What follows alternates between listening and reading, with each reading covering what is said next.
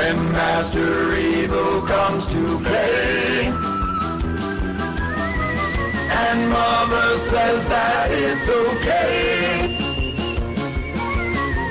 Alex and Josh are stole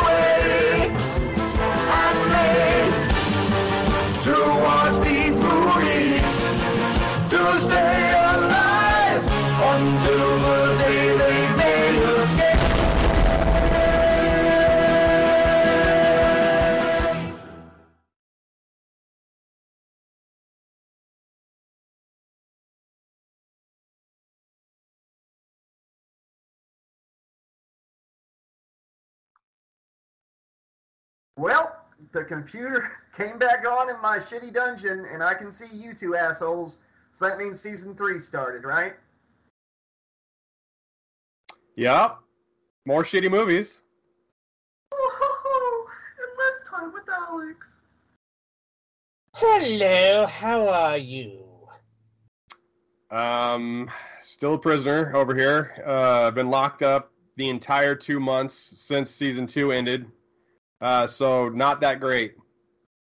Getting ready to watch a movie. Is that popcorn I hear popping? What? That would imply you give us popcorn, and there's there's no literally no noise right now. What's your name? You know our names. You've held us prisoner for two seasons worth of shitty movies over and over and over again. Why are you asking us our names? I want to know who I'm looking at. Josh and Alex. You're looking at Josh and Alex. We are literally on a Skype call right now. I'm looking at the screen. We can see you. You can see us, and you already know who the hell we are. Ma! They aren't playing along! Now, now, Josh and Alex play along, or tonight will be a double feature. Oh God, no. Okay, my name is Alex. Okay. And I'm Josh. I'm Josh. Uh, nice person uh, on the phone. What do you want? I want to play a game. Hi, Joe! I'll go grab it! You moron! Don't get involved! I don't want to sit through a double feature either. I gotta get my teeth pulled tomorrow. I can't wait. I'm so excited! Wow! You are evil. I like games though. Alex, for the love of God, get your clown under control and let's do what Master Evil wants. Clown. No more karaoke night if you don't stop. Now, Master Evil, what kind of game? The game of cancellation of one of you. Now, Josh, answer this question correctly, or Alex dies. What's your least favorite shitty movie? Wait a minute. Hold on one second. If he doesn't guess correctly what his own least favorite shitty movie is, then I die. He's the one answering the question, not me. This makes no sense. Josh, please, for the love of God, don't mess this up, man. Uh, um, obviously he's calling, he's being nice, getting mad, popcorn, uh, favorite shitty. Okay, the first one's good, second one's not so good. Scream 3, finally. Oh god. Correct. Now watch and suffer. Open the vault.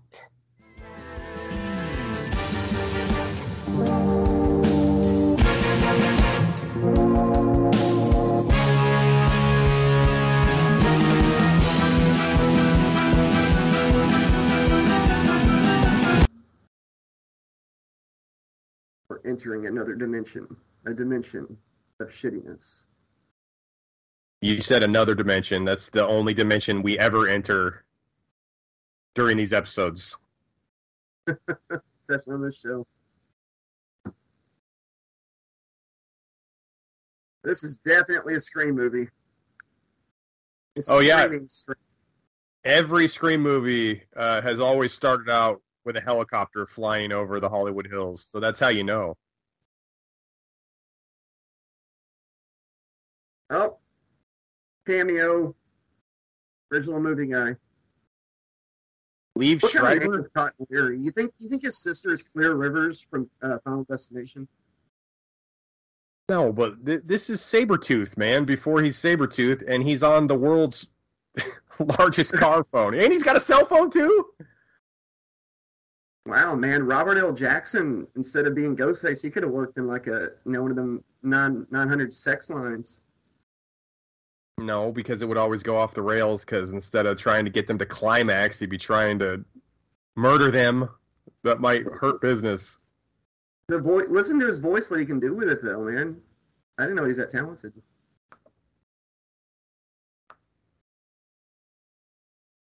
Just, just imagine that person telling you what to do. You're right. Then they would, then they would, you know, ask you. They get to scary movies, and it all, you all go to hell. You're right. We know how well he's doing though in his life at this point because he has a car phone, which was probably like a hundred dollars a minute back then, and a cell phone. And this is like pre Nokia. This is 2000. There's there nobody had cell phones. The only person who had a cell phone was the drug dealer at your school who used to have a beeper. had that number written down. It was the same as my locker combination. Oh, he's gonna have to hit timeout like Zach Morris and pull out a third cell phone, the big antenna kind. I got a question. How do the previous okay, how do the new killers in these films know what the exact voice is of the previous killer from the previous two installments? They watched the movies. Oh, there you go. There's a twist for part six. There's been like a mastermind killer since the beginning, and everybody else has been patsies for him that he put to work for him. Billy Loomis's mother's mother is the one who is actually doing all the plotting. John Goodman, get another Roseanne character. DJ. DJ always looked like he was going to grow up to be a serial killer. That would work. It'd be more it'd be more believable if Darlene was the murderer. I'm going to throw that out there right now. That's why the voice was always the same. Uh, it's because there's there's been another killer there from the beginning, and that's uh, that's why they're still keeping it in the continuity. Okay, so she's one of those gals who doesn't wash her hair every time she takes a shower. Her hair Oh, wasn't oh, wet. see her. She picks up the phone. Dude, he's Yeah, driving. He's driving like Anne Heche right now. Jesus. I guess he spent all of his money on phones. His vehicle wasn't that flashy. He's like, he's like, I spent all my extra money, excess income on phones, car phones, cell phones, and three piece suits. Uh oh. Why don't you just? Why didn't you just pull the Ford out? You'd have to be a vandal too. You're gonna be a killer. You're a vandal.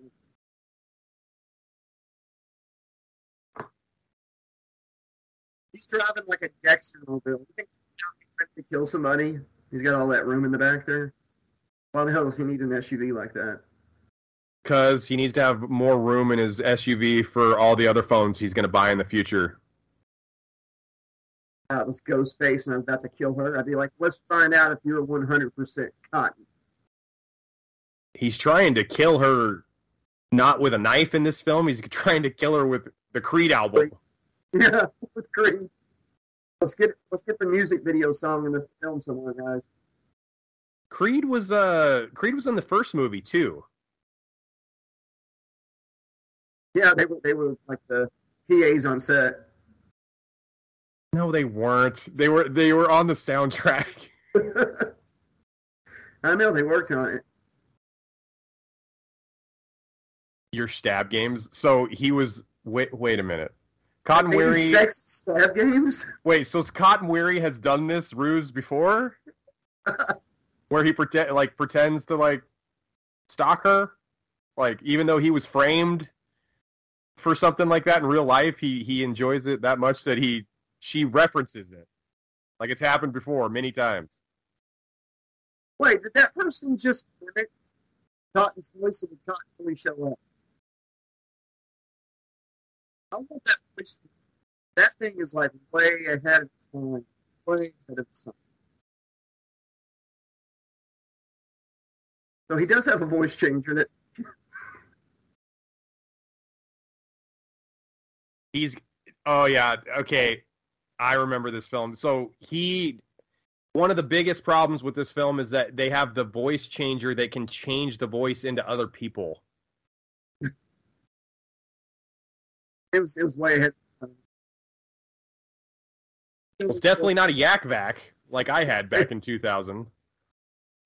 the little. I had a little twelve dollar one from uh, like the little Halloween store. Uh, Yeah, mine was- It, bad. Mine was like eight bucks. It was the Nickelodeon's Yak Bak. You could say like four seconds worth of dialogue. Um, I am thinking that that's Macaulay Culkin from Home Alone 2 behind there with the the voice distorter he used to order his hotel room in New York. Yeah, the killer's been following people around, recording word by word, and he's putting them together. I'd like a large pizza, please. Cheese only. It's me, the father. I'd like to have sex with you. It's me, the cotton. Hey, since we're talking about Home Alone right now, uh, he opens that shower up and Uncle Frank's in there singing, Get out of here, you little pervert, before I slap you silly. The cool. cool J. Oh, he's gonna go get little Petey with the with the gimpy leg or whatever. Man, Cotton's one hundred percent. Hey, Cotton's one hundred percent jacked in this film. See, this is how if they were gonna kill, uh, you know, my favorite my favorite character Dewey. This is how they should have done it in Scream Five. They should not have had him in the movie like they did. It should have, if they were going to kill a main character, they should have done this again and done it better. Not where like he they've been playing sex games with their girlfriend about bad, terrible shit that's happened to him. I guess that's how he's worked out his PTSD.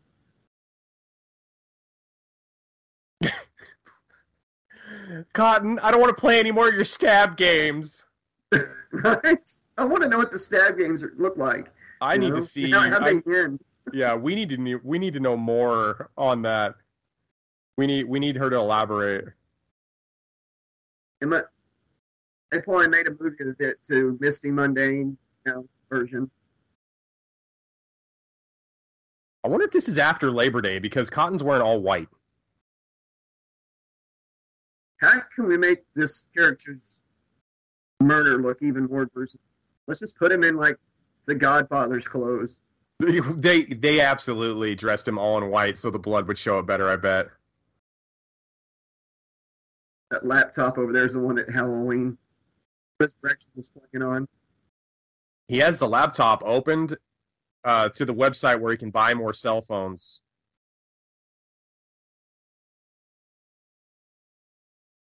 Wait, but I'm I've got plot armor. What the hell? I should have took out. Is he? He's got all kinds of expensive stuff. Like, is he he even bought the plot armor that he didn't get the extended warranty or the or the protection? I never liked him anyway, so No, he every scene he was in previous to this movie was him trying to get Sidney to do an interview so he could make money off Oh. the debt off the death of her mother. wow, shitty movie's title just hit me right in the face. Whew. Okay, you know what? You're right, Alex. It does make more sense that he did a sex game. I mean, he look what he was. He's been milking it for everything. Yeah, So hey, why not? Why not milk it literally? slashaholics, uh, pay close attention right there. Sidney actually has a scene eye dog for this film, so she can work her way through the plot. Blinded by the plot. The dog is leading Sidney through this mess of a film. Wow, Sidney came into some money. Oh, she. I guess you know- I, almost getting killed makes you rich. All the movie rights. Well, you know how much insurance money she probably got from being sliced, sliced and diced and slashed in two previous installments. Come on, son. Yes, yes, stab insurance. Ladies and gentlemen, the world's largest dresser. There was like eight drawers on that, and for some reason, it was right next to the front door because everybody has a dresser right next to their front door. Just so everybody knows, there was supposed to be two killers in this movie, and they made the decision late, late in production to change their mind. So there's plenty of inconsistency for us to pick at. Yeah, and just so everybody else knows, uh, Nev Campbell was on like set actually filming for like probably 30% of the days they actually filmed. Like she this is the least available she was for any of the films.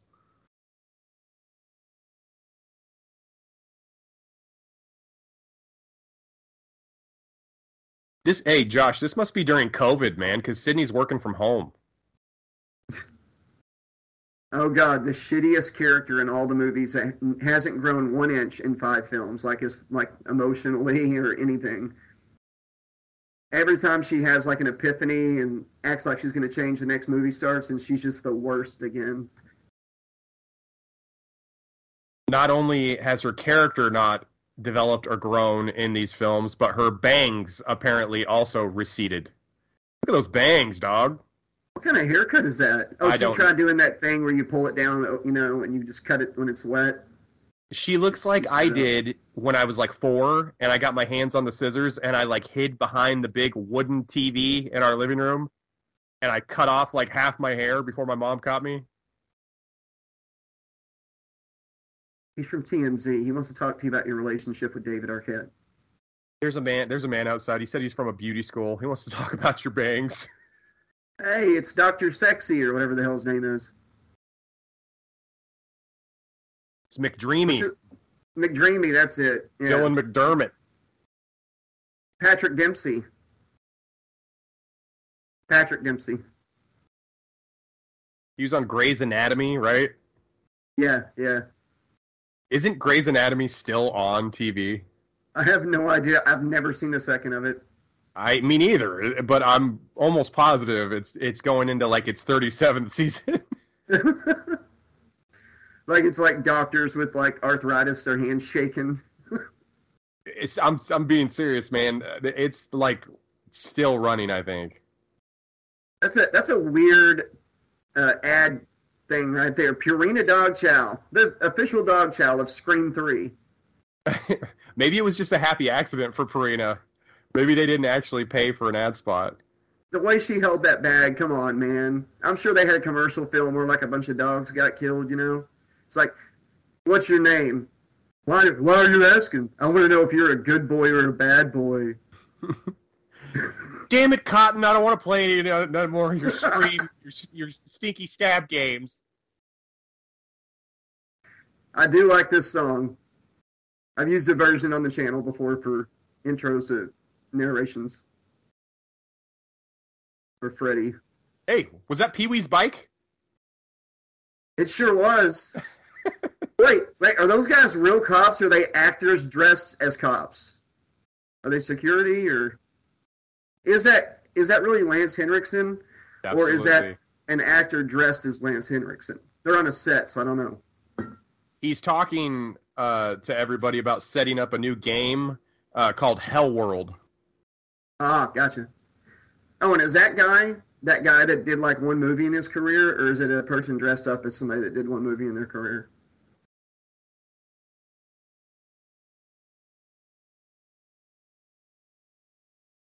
Case closed. He's got us there, boys. They're all upset, but this would actually be the greatest press ever for a film. Everybody would want to see this film. It's like, oh, is that the movie where the person actually got murdered offset? Exactly. It's it's so weird that Hollywood grows a conscience every now and then. Okay, so this gal right here, right there, she uh, Slashaholics, she's the one playing Sidney. That she was the one that was supposed to be the other killer. And it, it's obvious to see as the movie plays out that that was the way it was supposed to go.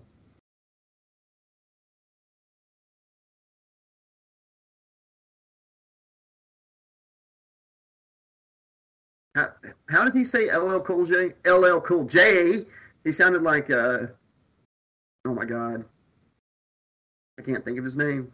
I don't know, but I loved him on the Cosby Show. He was like Rudy's best friend. He was awesome. Wow. Uh, you can you know you're getting old when you can't remember one of your favorite actors' names. He was in Uh, Batman Returns, you know. Bruce Wayne, why are you dressed up like Batman? Uh, Michael See? Keaton. No, the guy that says Bruce Wayne, why are you dressed up as Batman? The guy that talks weird. One of my favorite people. Christopher Walken. Christopher Walken. Yes, that guy said it like Christopher Walken would have said LL Cool J. I think Master Evil has finally broke your sanity. I, I I love him too, and not not Master Evil, and I can't I can't believe I forgot his name. He's I like can tell. favorite. I Yeah. can tell you love Christopher Walken. I, I, everyone can tell.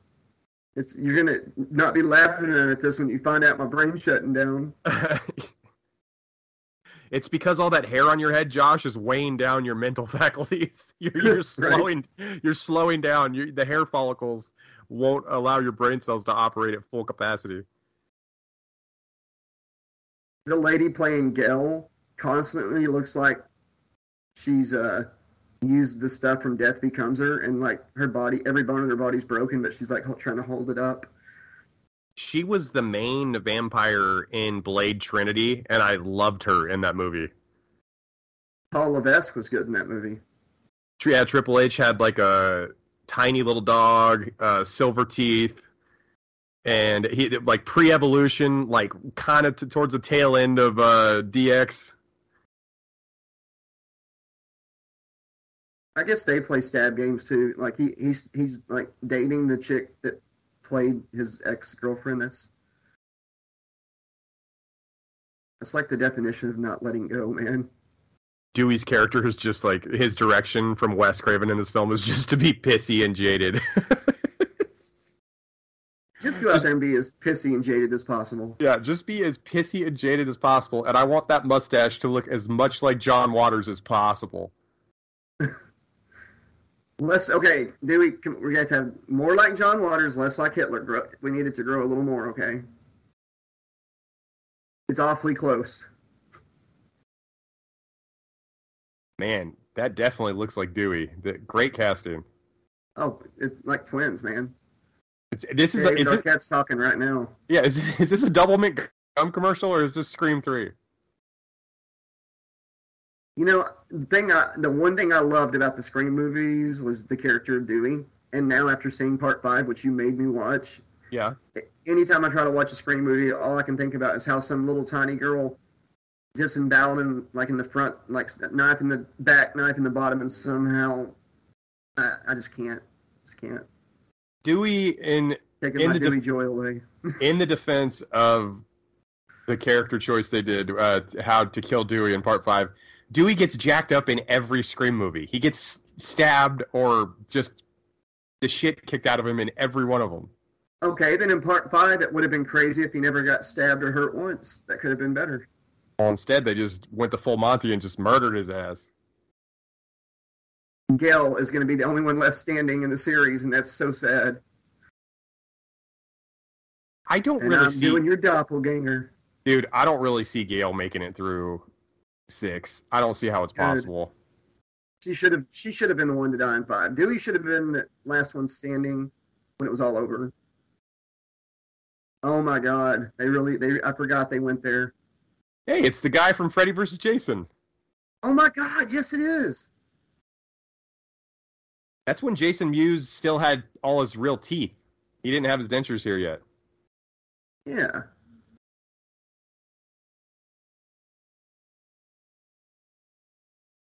He played a lot of stab games.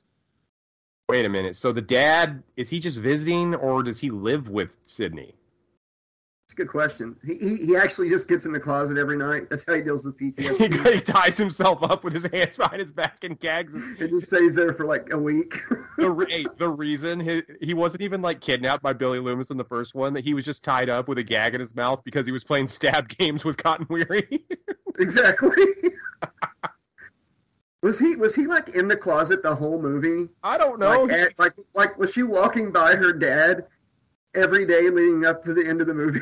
you know. uh, maybe, but also if he was if he was kidnapped, right, for basically the whole week, who where was he going to the bathroom? And also, did Billy and Stu like get randomly take the gag out of his mouth to give him water and food? we how need did to that get work? The extended version of Scream One. Yeah, I got a lot of questions. Lots of questions. Is that dog dead? No, it's just This dog from the exhausted. Spring commercial. No, the dog is a that dog is exhausted from trying to lead Sidney through the plot points of this film. She has a dream now where Velociraptor goes, Sidney? Oh God, Master Evil's gonna make us watch Jurassic Park three this year. Shit, I'm sorry. Okay, so here's Sidney's mother. All right, here's Maureen Prescott, everybody. She's never actually been in. Okay, well, no, I lied. Here she is, right here in a flashback scene or whatever. But up to this point, she is the most seen character in the Scream franchise without an actual scene on camera, other than a photograph.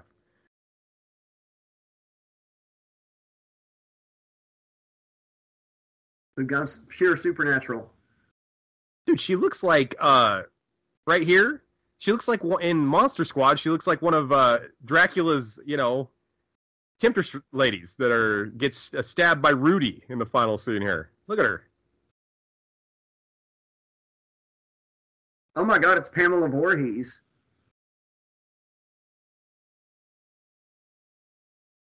Come to mommy. Mommy needs to talk to you. Uh, will you please, if you're gonna try to freak me out, at least not make my windows dirty as shit? Because now I'm not only gonna have PTSD, but I'm gonna have to clean that. It looked more like like she didn't wash her hands after a bad trip to the bathroom and put blood all over it. Wait a minute. Wait a minute. So Ooh, Was that- cotton in your stab games. Well, yeah, Cotton was just showing up for an orgy. Uh, no, was what? So that was just her imagining all that. Yes, yes. Okay. Dream and then imagining. Okay. So she's see what I mean? She could have been the killer and then been like, drop the blade at the end of part five. What have I done? Like, you know, her her psyche's just snapped. Dude, there's no way Nev Campbell is ever gonna let Sidney die or be the killer. I've seen so many interviews with her. That's the only way the series should end. Is like she's been gone after so much, you know that. uh Oh my God! It. The, I imagine behind that mask is a big old semi truck. Uh, Some people get that reference. The Emilio Estevez movie. yes. What one was that called? Oh shit, man! It's called Trucks in Stephen King's world, but that one's called Maximum Maximum, Overdrive. Yeah. Yeah, Jenny Jenny just McCarthy. me the killer. Just me Dude, the Jen- killer. Jenny McCarthy is at the height of her powers right here. Oh yeah.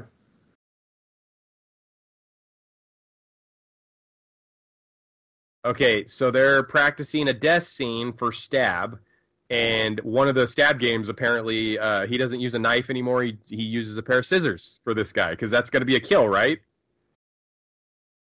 See, the, that's how the guy should really die. If I if I was the guy, if I was the ghost face, I would see the special effects they're working on, and I'd give it to him for real.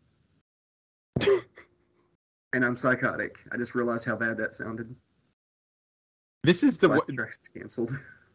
canceled. Uh, we'd have to we'd have to uh, be getting paid first of all before we get canceled. Um, hey, so Roman Bridger, I'm gonna ruin the movie for everyone watching this. Uh, Roman Bridger, the director, is the killer, right? Um, it's one of the worst reveals since Friday the Thirteenth, A New Beginning. Like as far as a uh, killer is concerned in a movie. What's what's the re, what's the reveal in Friday the Thirteenth? It's Roy.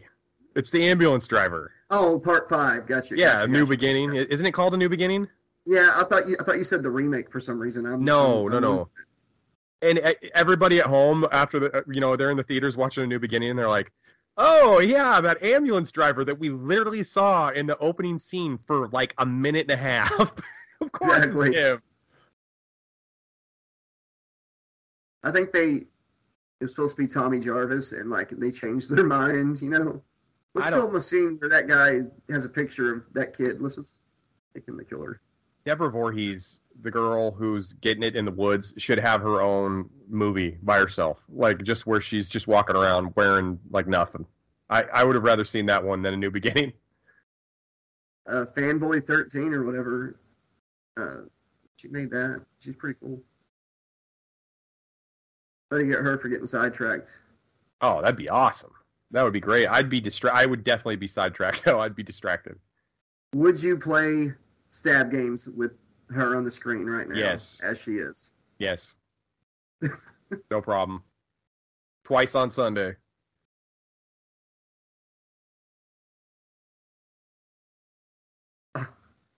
Oh my god. So Roman's the killer, and Roman is the only killer in this movie, and Roman is changing his voice to sound like Roman. That's Exactly. that's what we're supposed to believe here. This this would this would have been the girl playing Sidney. Yeah, so this is terrible because we know the way they edited it, it's Roman, but they fucked up. So that was Roman using a voice changer to be Roman. to be And- and himself. Exactly. And how many rewrites would a movie actually get? A movie like this, how many would, would it really have that many rewrites to where you know a, an actor on set would be like, another goddamn rewrite? Yeah, it would be. I'll tell you why. Because this movie was brought to you by WWE Studios, the same studios that brought you See No Evil. Uh, Vince McMahon was rewriting the script before, like two minutes before they shot scenes. By the way, that was Roman walking in the front door. So if it had actually been him on the phone, he would have been outside, like walking by other people in the studio, saying, "Because I'm gonna gut you like a fish." Oh, hey, how's it going? Yeah, and, and if the police were any good at their jobs, the the cell phone signal ping would have pinged like ten feet from the studio where she got murdered, so he Clone couldn't say he wasn't there. Clone phones. Sidney Oh, knows okay, so it wasn't Roman. It was him. It was it was security guy. Sidney knows all this though because she's got that dog, you know, to lead her through Yep. this stuff. Oh, the dog is magical. That's what helped her see the vision. Wait a minute. Wait a minute. So Roman was in here the entire time making the phone call then because it's just one killer. Exactly. Okay. It looks like a knife from like Hatchet Part Six.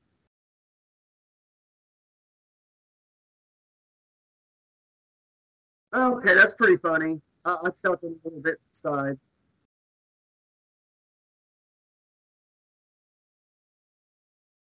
You would have hey, you would have thought that uh that would have been fake glass since we're in the prop department, but it was actually really glass. It wasn't sugar glass, it was real glass. How funny would it have been if like the guy went to stab her and she like looked back like what the hell, and he had accidentally grabbed one of the fake knives too. Oh, that would have been awesome. That would have been absolutely amazing. nice Let's shirt, cut this movie down to shit. Uh, let's delete all the stuff that makes it kind of stupid. Okay, you want to leave in the Jay and Silent Bob part? Yeah, yeah, let's do that. That's that's got horror movie written all over it. I had seen that like J- Kevin Smith had done a favor for Wes Craven, so he was returning the favor by doing a cameo in this film. Like I saw that somewhere.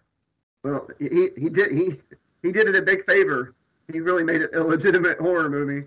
I love him, by the way. I love the guy. Oh, I love. Kevin Smith too. Um, but as soon as you see him in this film, you know the tone is completely jumped the shark. Exactly. How weird would it be to be a real couple that had split up in real life? you know, Dexter and uh, the girl that played his sister. Uh, I can't think of her name. Jennifer. Yeah, they were- They were married in real life, weren't they? He cheated on her during season five with Julia Stiles, and I mean, crap.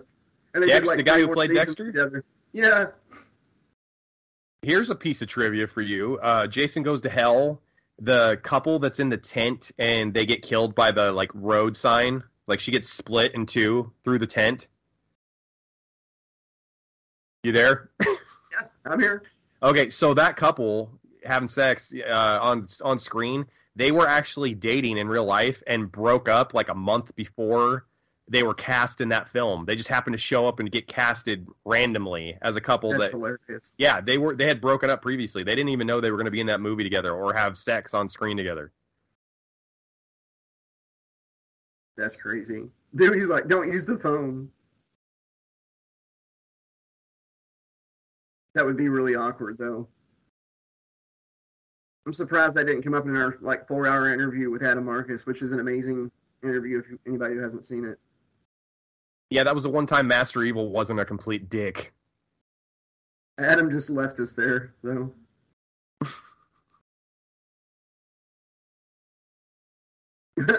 you told me you you said follow me up the road. What the hell?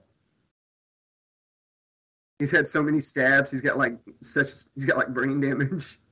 Dewey is like 100% committed to. He's selling that limp from the nerve damage, and that's the pro wrestler in him right there. That's David Arquette at his finest. He's selling it, Josh. Hey, for all the shit he pulled and pissed people off for in the '90s, you've got to watch the documentary. Uh, you can't kill David Arquette or whatever. It is really good. He goes out in the indie circuit and does a death match and almost bleeds to death, but finishes Yeah, he the actu- match. Yeah, they would have had to change the title of the film because he almost actually died. That's why. Yeah, yeah, you're right. I think that's why they got the title that they used was you can't kill him. Apparently, yeah, the, the the title when they thought he was going to die was "You Can Kill David Arquette." yeah. And then, and then Scream Five is like hold my coffee, hold my beer. He got some. Hey, man.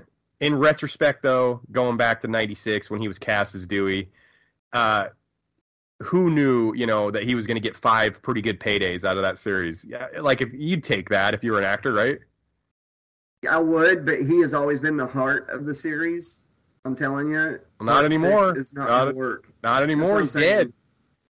He, the parts in Scream Five he was actually part of, I enjoyed. Once he was killed off, I it, I lost any enjoyment I would have had in the movie, and I think Part Six is going to suffer because they they really messed up with that shock. It was shock for this for the point of shocking people. I don't understand why they had such a like a tight turnaround for the production of Scream Six. Like why, why, why did they feel the need to make it so fast after Part Five? Did did you Because- have that thought at all? They're like everybody looks really really old. Let's not wait that long again, okay? Hey, is that the everyone- tick? Is that, That the is- tick? Yeah, that's Patrick Warburton. Or no, not Patrick War. Patrick Warburton's the Klingon. Um, Patrick something. He's the guy. He's uh, the guy uh, in Family Guy. He's the guy in the chair. Yeah, that's yeah. You had the name right. It's is it Patrick Warburton? I'm pretty sure, I unless the comment section kills us for it. But I don't think it is Patrick. It's Patrick. So- I don't know, dude. check um, it, check it out. This guy's not only a director; he's a very good actor when he gets uh, questioned. dude.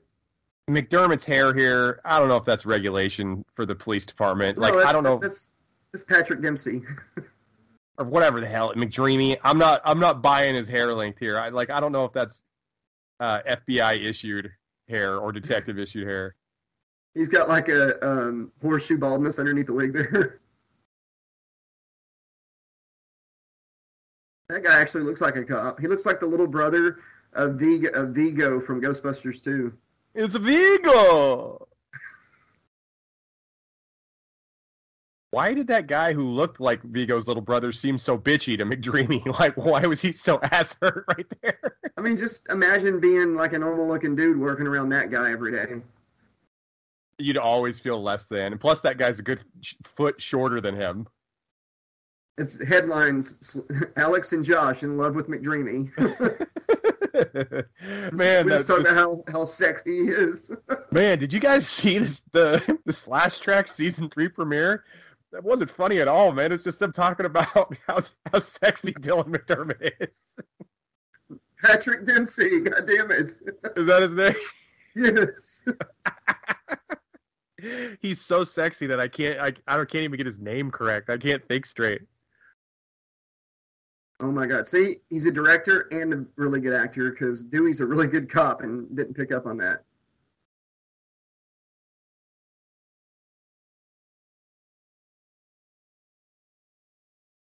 Boom, he's arrested. They they got the data from his cell phone. Totally done. Movie's over. Especially since there's only one killer. Exactly. Explain how shit happens whenever he's not around. He can't. He can't. This movie is fucked. There's no way. There's no other killer the way they chose to do it. So he can't get out of this. He's the only one. exactly. If he doesn't have a partner, how the hell does he get out of it, right? He can't. He can't. It's and I think he needs to worry about two things here. He needs to worry about getting out of this crime, and he also needs to worry about getting out of that fucking hideous shirt he's wearing.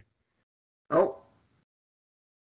There's the there's there's the red herring right there. The whole cell phone thing with the cop right there, the detective.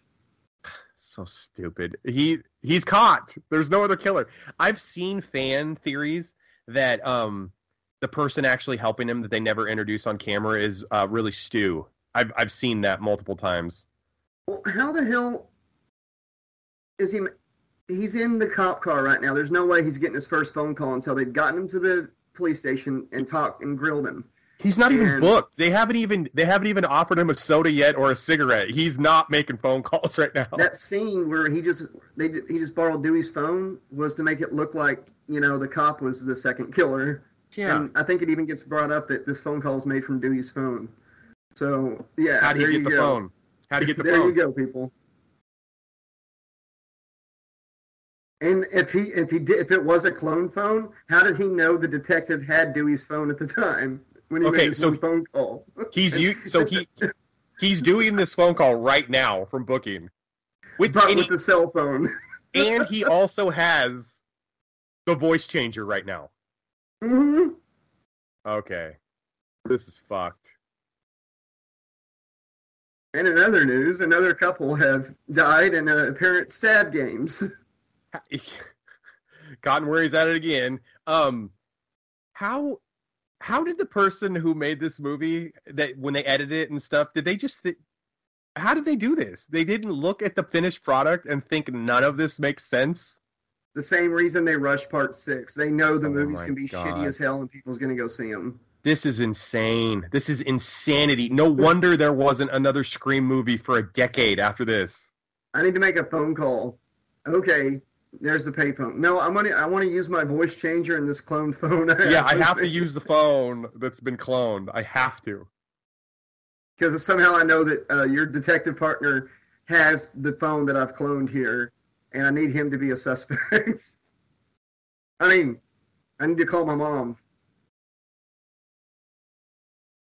I don't know if they did have the tick on their side, man. They would uh, be kicking ass. This movie was also probably brought to you by Cam- the fine people at Camel Cigarettes. Is he like biting? He's bitten the butt down to like like chewing on a straw as he's smoking it. That's how I smoke my cigarettes. he needs I, I a cig- chew and I smoke at the same he needs time. a he needs a cigarette holder like the penguin.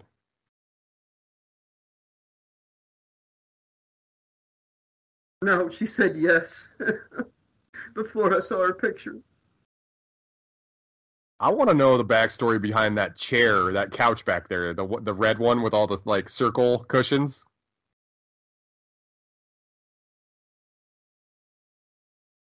Okay, Josh, is Gale just going rogue here? What is she doing? She she doesn't belong on set anywhere. Like she nobody invited her to any of these things. Or to this house. Apparently, she's she's not worried about Dewey. I think she's just jealous. Does she See the shitty trailer they gave Dewey back there? Yes, it was like the size of the trailer my dad actually lives in, like, like a little fifth wheel. Which, ironically, slashaholics in Scream Five, Dewey lives in a in that same size trailer later on in the series. lives in it. Okay, you're not creepy at all right now, Gil. Well, this is a felony. She's stalking here, brother. That motherfucker's in there playing stab games with someone else. No, that's not a Photoshop picture with like a green screen behind her. Whoever photoshopped that was like, eh, bit did it as fast as they fucking could, man. Like they just okay, that's good background. Okay, I don't even care that the scale doesn't make sense at all. Spoon. I'm sorry, the tick thing. I just can't let it go. he's actually working for uh, Cotton Weary. He doesn't know Cotton's dead, and he grabs random females for stab games later on in the week. Oh my god. Has become the logo, the slogan of this episode. Stab games. uh, Dewey, are you going to play stab games with that bitch later on? She's, she's just a carbon co- Like, she's not me. It's not really Gale.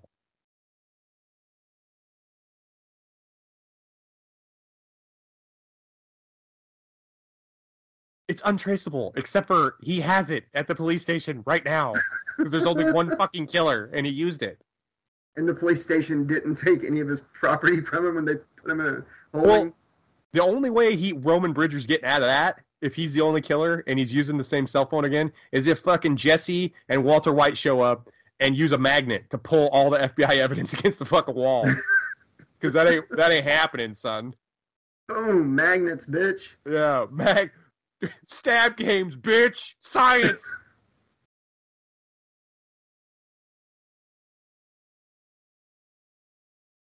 Yeah, because she doesn't even look that good in these. There's like so many better pictures. Why these? More excellent photoshopping, boys and girls. Unless I'm the killer. Exactly. That's why you did the little side eye thing. The, the picture has to say copy. That way people don't think it's the actual original picture that is on a piece of printed paper. Yeah. Uh, Gale's pants. Gale's wearing red leather pants, uh, which came in handy that uh, Scott Stapp from Creed was on set uh, writing and recording the soundtrack for this film because she just borrowed his pants for that scene. With with legs wide open. Oh, With open, legs. my bad. With legs wide open. Playing stab games. Under the plot, the plot points. Left my plot armor at home. Oh my god, if the killer killed him with a spoon, nerds everywhere would rejoice. I mean, that would be an amazing death for him. This, this is around the time they did like the six episode run of live action before it got canceled. Did he play the live action version of the Tick too? Yes, yes, on Fox. There's a new live action one on Amazon that was really good, but yeah. He Did played him he- on Fox back in the day. Did he do the voice of the cartoon, or was that a different person? It might have been a different person. I don't know. Maybe that was Dylan McDermott. I'll give you one. no way. No, Dylan McDermott was in uh, American Horror Story season one. Okay, so that killer right there, since Roman Bridger is being Still in jail. still in jail, that was supposed to be Sidney's uh, character in the movie Stab doing that. Exactly. Okay, so she just kicked the shit out of the tick. So that's not that's believable. I'll tell you what. She she also stabbed him in the back. That's why Joe's paralyzed. Um. So uh, the the director was at the station. Okay, the, all these jump scares are too much. I'm about to have a heart attack here. That Uh, wasn't even a that He's- dude. Can I have a cup of coffee? And That last one wasn't even a jump scare because I saw the guy on screen before Dewey pulled the gun on him. He's like, call Peter Griffin for me. I know how I know how he got there. Kill man. He asked that, that the dumb detective if he could get a cup of coffee. He's like, sure, I'll go get you a cup. He's like, yeah, but I need it from Starbucks down the road. There's a girl there that makes it. You do that, I'll give you all the information you need. And the guy wants to give him the coffee. Out. No. Um. Wait a minute. Wait a minute. Wait a minute. So here's the gal who's playing Sidney, running out there with everybody. So she just killed him and then got out of the costume and went right back to the party. Yep. Okay, This reminds me of Clue. It, Dude. this is all like from Clue. Everybody running around the house. all of a sudden Tim Curry shows up out of nowhere in a butler What? outfit. What does a butler do? I buttle, sir.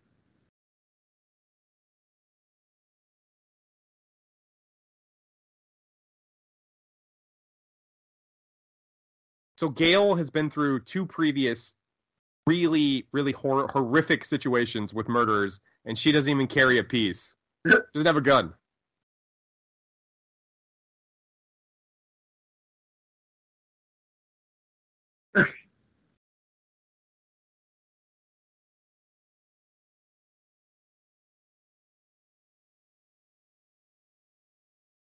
Hey, so hold on one second. Ro- Is Roman sending fax faxes on the plot from prison?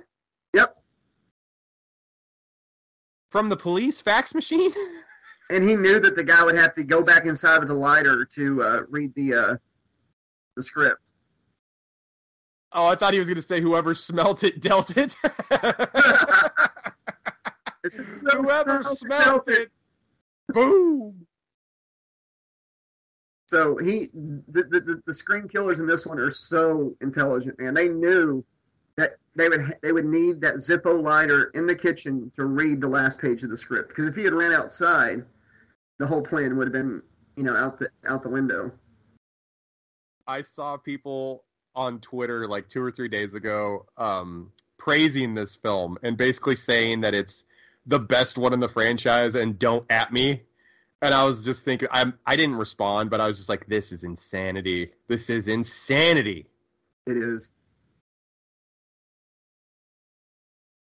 Okay, so there's Roman, right? Or the girl, because, but she was just with the girl, so it's Roman, but he's in jail. I can't get over this, Josh. I cannot get over this. That that it's one killer. I can't. I, can't- think it, it was either going to be the chick playing Sidney and him, or that detective and him, and they just change or Stu. Well, no, I've seen Wes Craven. It was supposed to be the girl playing Sydney. Uh, yeah, I know. I'm just saying, like the way they're trying to trick the audience here with red herrings and stuff. Like that's There's- what they've done so far. There's no way. Th- This is the worst Scream movie, hands down. Yeah, let's just stand here and gaze into each other's eyes while the killer is obviously nearby. Is that her real hair? Can we take a second out? uh, uh, take a second to look at her hair. Is that real? Is No, that how her hair? It's a wig. They took some of it for Dewey's mustache. See, she looks like she's got the death becomes her stuff, and she always the way she's standing, like she's either drunk all the time, or like trying to like put her broken bones back together, like they do in the movie. Yeah, Court, Courteney Cox actually hit her in the head, and her head flips all the way around, to like to where her her head is looking at her ass. See, that's why girl right there, Sidney girl, is so like she just got shot in a bulletproof vest like six times. So she would be hurt like that. There should be bruises on her though.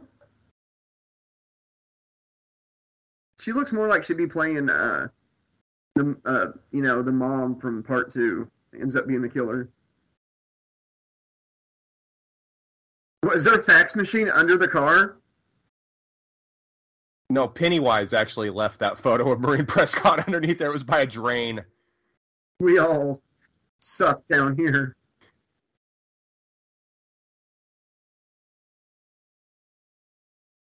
Okay, hold on one second. I got another question. So, this guy is a big time detective. Okay, he is a big time detective. Dewey's not even a cop anymore. Okay, Dewey is like helping out on the set of that film, and Courteney Cox, Gale Weathers, is just going rogue, like doing detective work on her own. Why would he invite them right into his office? Dun dun dun. So I was trying to do the Law and Order music. I can't do it. They could be they could be suspects themselves. Yeah, and he's like letting them around everything. Yeah, there's the little spider web uh, evidence wall back there. And he's a detective in Los Angeles, and he's working one case. Yeah, exactly. His caseload would be just jack. And there's this guy, pissy and bitchy again. He's not that handsome, Dewey. He's just not.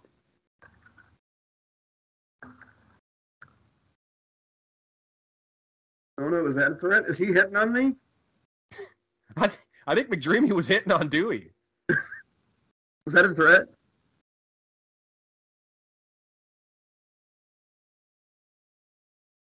Wait a minute. They just had that altercation with the bitchy look at each other, so he comes back for more. Yes. Why do it twice in in like five seconds? Josh, that's why the runtime for this film is fucking two hours because they kept redoing the same shots over and over again. And all the actors kept doing uh, stab games. The uh, offset, they were just Yeah. exhausted from playing stab games with each other. So Neve Campbell, ladies and gentlemen, here she is for like scene two of her uh, presence in this film because she was on set for like eight minutes for this entire movie. I th- she was in Scream Four for like a lot more than she was for Scream Three. Oh, Scream Three, she was filming something else. She was told like Party of Five or something. She was doing something completely different. Like I she wasn't even available. I know you hate to hear this, but I really hope one day I get to riff on part four and five. I really hope so. Of Scream? Yes. Wait, I'm not supposed to say I like watching shitty movies. My bad. I'm giving you a hard time. I know you're a big Scream fan. Well, I wouldn't mind riffing five. Uh, four though is a no-fly zone for me because I like that movie.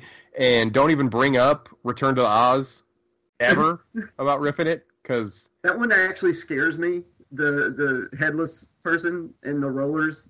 Queen So Mombi, Queen Mombi. What if the hey, what if the Wheelers? What if Gumby and Pokey were were on roller skates like that? Would they terrify you even more? Yes, yes, that, that, that would that would that would be it. The garbage pail kids behind them. Hey, Josh. Hey, Pokey. Stop it. like Wayne and Garth. Give me me gold. I need me gold, Pokey. Stop it, man. You're freaking me out. I'm the leprechaun. Stop it, man.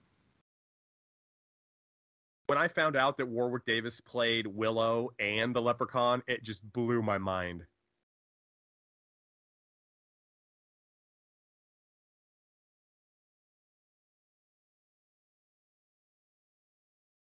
We got to do it quick though, because I've got to get back to party five. What about part two? Can we make time part two? I just told Scott Wolf uh, that I was actually going to get lunch. I'm not even supposed to be filming this right now. You know who they? You know who part five could have really used if they hadn't fucked up in part two? Jamie Kennedy. He fixes it. He fixed Tremors. So Oh, are you Tremors two? Was he in Tremors two or no, he was he was in Tremors like five and six. when they had ass blasters, the ones that were flying in this the That, air. that, that was part three. Part five and six, man, they're way out there. Uh, he's Burt Gummer's son. Oh Okay. shit! Here comes Jamie Kennedy's part in the movie, right? There's Pee Wee's bike again. I've been sitting here waiting to jump out and scare y'all. You can't. Seventeen-year-olds can't be shot. People. That's like the one age where you're protected from gunfire. Don't shoot. I'm seventeen. Seventeen, my ass. She's got to be like mid twenties at this point, dude. Celebrating the 17th anniversary of my 18th birthday. And I knew that the, the ghost face killer would haunt you for the rest of your life, so I made this movie. How is it possible that he's physically aged since the last VHS tape they had of him? He's a killer. He's he's dead, right? Oh my god. He just said shut up to him like he heard him. That is A&J and Silent Bob. Oh my god. No ticket. Last time it only took you five minutes. That was a stab game.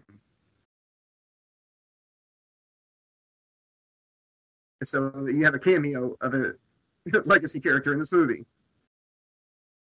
What's his paycheck situation for this scene right here? What do you think Jamie Kennedy got paid for that right there? Like a fifty dollar Walmart gift card. Free Man, fif- coffee on set. Fifty dollars back in like two thousand wasn't too bad.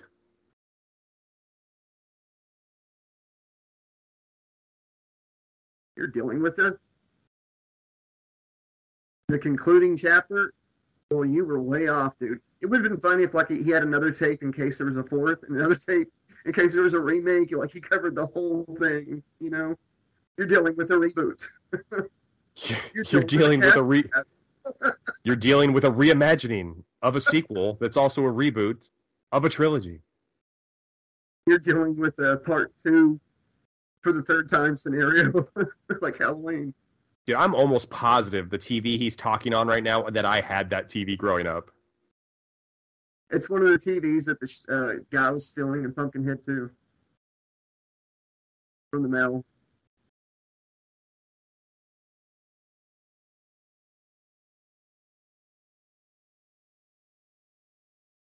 I love hey, I love how they're watching this Jamie Kennedy tape. This is just Jamie Kennedy ranting into a VHS recorder, like a camcorder back like before he's dead in 96. Yeah. I love I love how they're like seriously taking notes on it. Like this is exactly what Roman Bridger is planning and thinking. This is exactly what's going on. It's the Bible. So, like during the events of, of, of Scream 2, he's like, huh, this might happen again. I need to make Yeah. a tape in case I die. He's in his Instead dorm. get out of town, I'll oh, make a tape.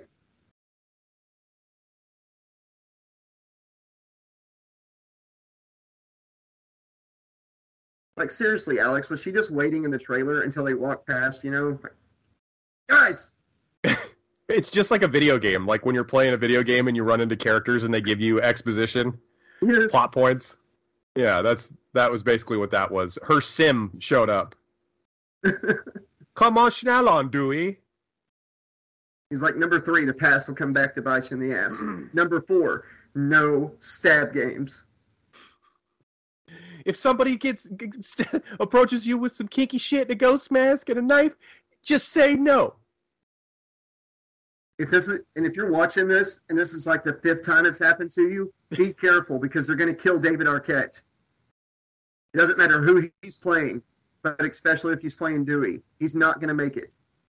If you're watching this and this happening for the sixth time, they couldn't get Neve, they couldn't get Sidney to come back and be in the movie because she by this point she's become too huge in life, and she's trying to move on. Like he has rules for every sequel. She didn't even like. She's trying to play Gale Weathers on screen here, and she didn't. She didn't go full method, man, because she didn't commit to the bangs. she totally blew it. What a hack! Oh my god, that chick! Her the way she moves just drives me crazy. Not in a good way. It's like it's like death becomes her movement. She drives Josh crazy. He just can't sleep. He's so disgusted. He's in too deep. She drives him crazy, but he doesn't feel alright. I hope the rodeo clown sings that to you all night. Dude, that Britney Spears album that Crazy was on, I I bumped that jam back in high school. Woo! Hi, I am Ooh. Gale Weathers. I have absolutely zero credentials to be here in the archives. And that I lady's at the picture going, I "Are have you this sure that's not the original?" I have this copy of a photo that I'd like to show you. I have absolutely no reason to be here professionally.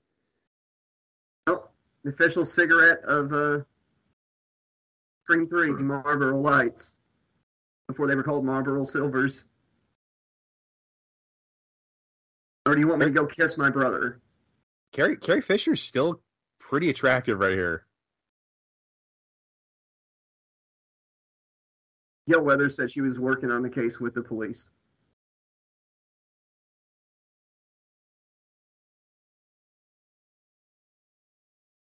I love how they that picture says copy. That has like been my favorite thing the whole time. Is if somebody's going to mistake that picture for the original. Yeah, because back in the old days, before you could afford a Polaroid camera, you, the the really cheap Polaroid cameras actually just printed out like white pieces of paper. yeah, that picture looks like it came out of a Game Boy printer. You know, but just bigger.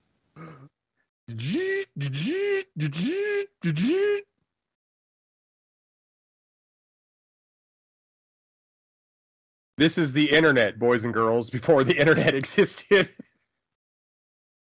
a file cabinet. Internet archives right here. Good God, this movie's long. We are 59 minutes into this legendary classic uh, entry in the Scream franchise, and there is still another 57 minutes left.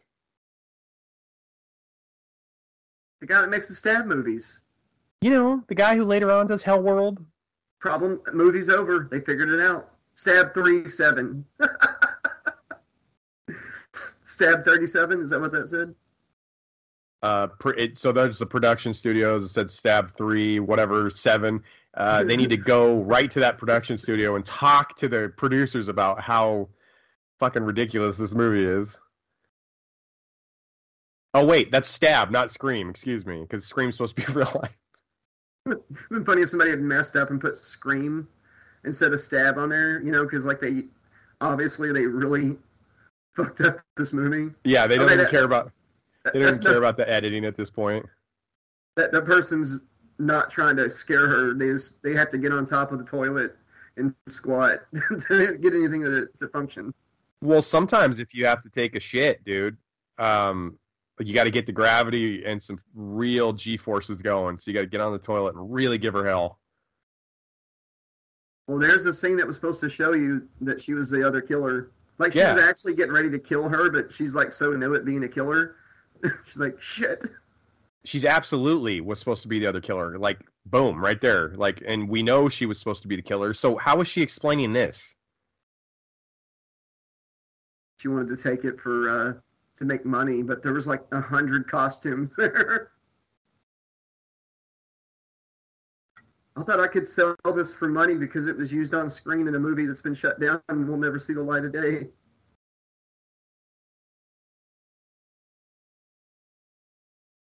Wish I could play a stab game with you. There's a reason that this chin is pointy on this mask.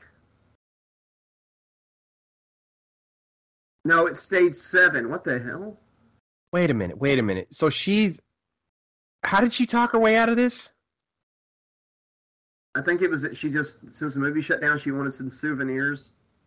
Well, then why is she stepping on the toilet? I guess she is a nervous pooer. she's. I, I can't pee around other people, so I can relate to her. So okay, No. you cl- you cleared it up. She's only done like two of the kills. She's still new at it, so you know she she just fumbled. She fumbled the ball on that one. And she and it, her whole plan was to leave her hairbrush behind because she knew that Sidney would pick it up and try to bring it to her because Sidney's just the hairbrush picker upper kind of person. Kind of like Oh. the, uh, the the Zippo in that one scene where the house blew up. They knew that that's what that person would do. So this is a this is Stu's house, right? From part Yeah. one. Yes. Oh, wait, that's her house, isn't it?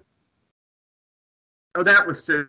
That was Stu's. Gotcha. That's Stu's house right there, and then her house is across the street. It's because it's all in the lot. yeah. I wonder if uh, her friend Rose McGowan. I wonder if it's uh, screen exact. I wonder if she's still hanging from the doggy door. Did she even die? I mean, it kind of cuts away, doesn't it? Yeah, She's dead.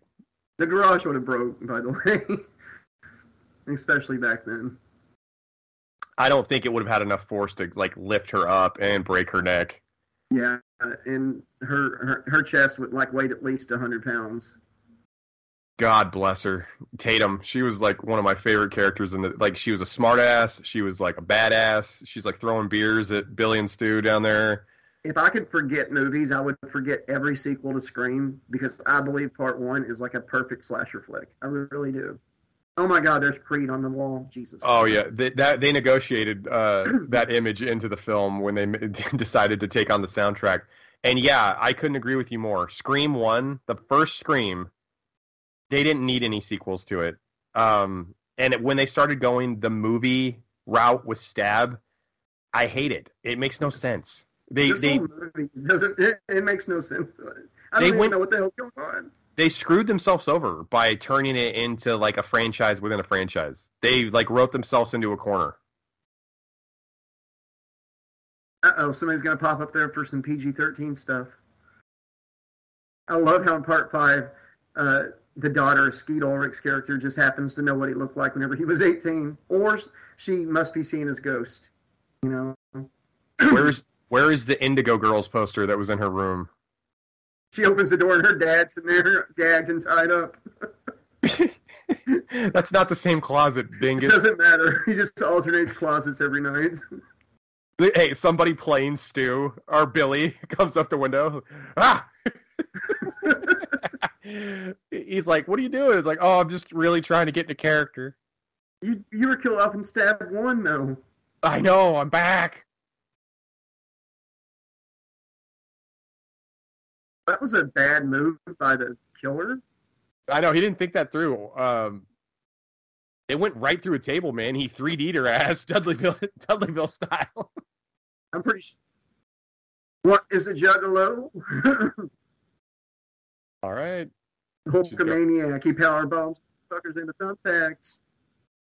sabooed your mama through a coffee table. Oh my god, I love a scary movie when they're like throwing like pianos and everything. Yeah. oh.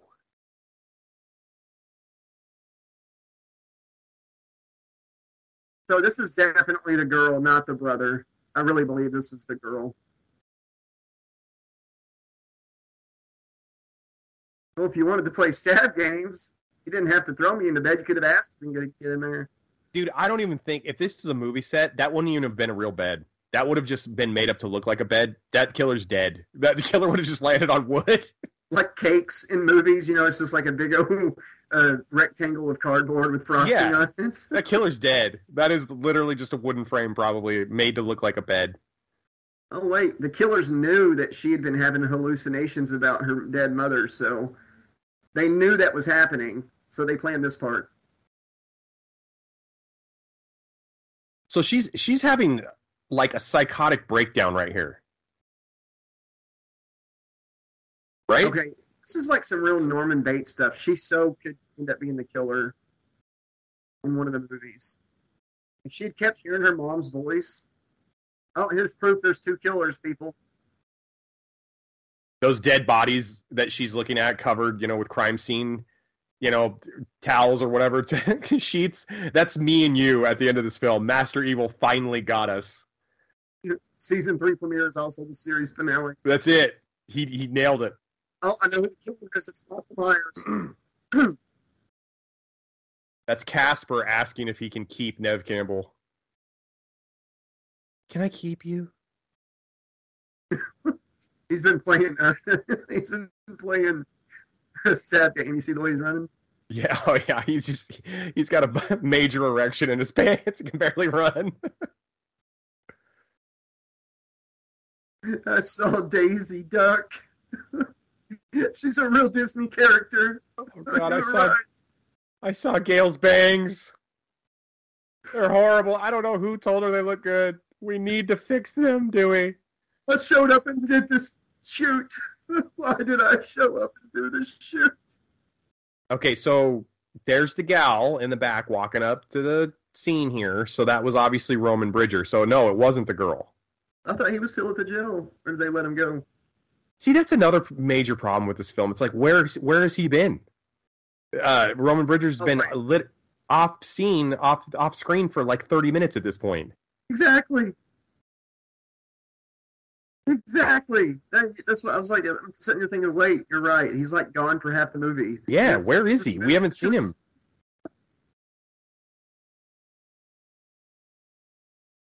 And I'm going to give you some surgery. He's wearing those glasses, those novelty glasses that you get in boxes of cereal. He's not even paying attention to her. The ones where you can see behind yourself. He's like looking at people walking behind him. He's not even paying attention at all what she's saying.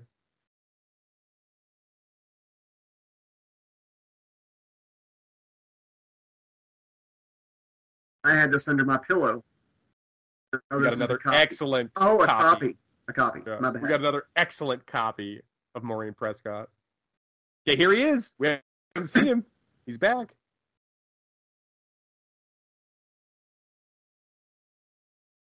Really? You don't know what a pariah is? Oh, so he probably just thinks it's like a fish that eats people.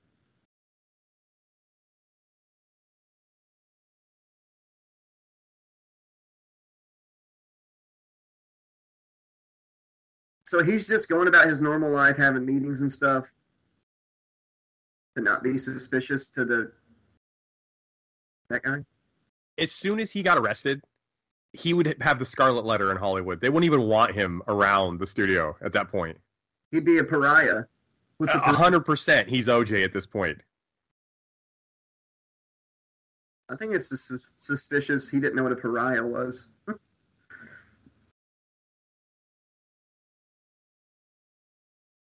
you know? I really need to know. I'm filling out my resume. Do you know how many actors work for me? Anybody?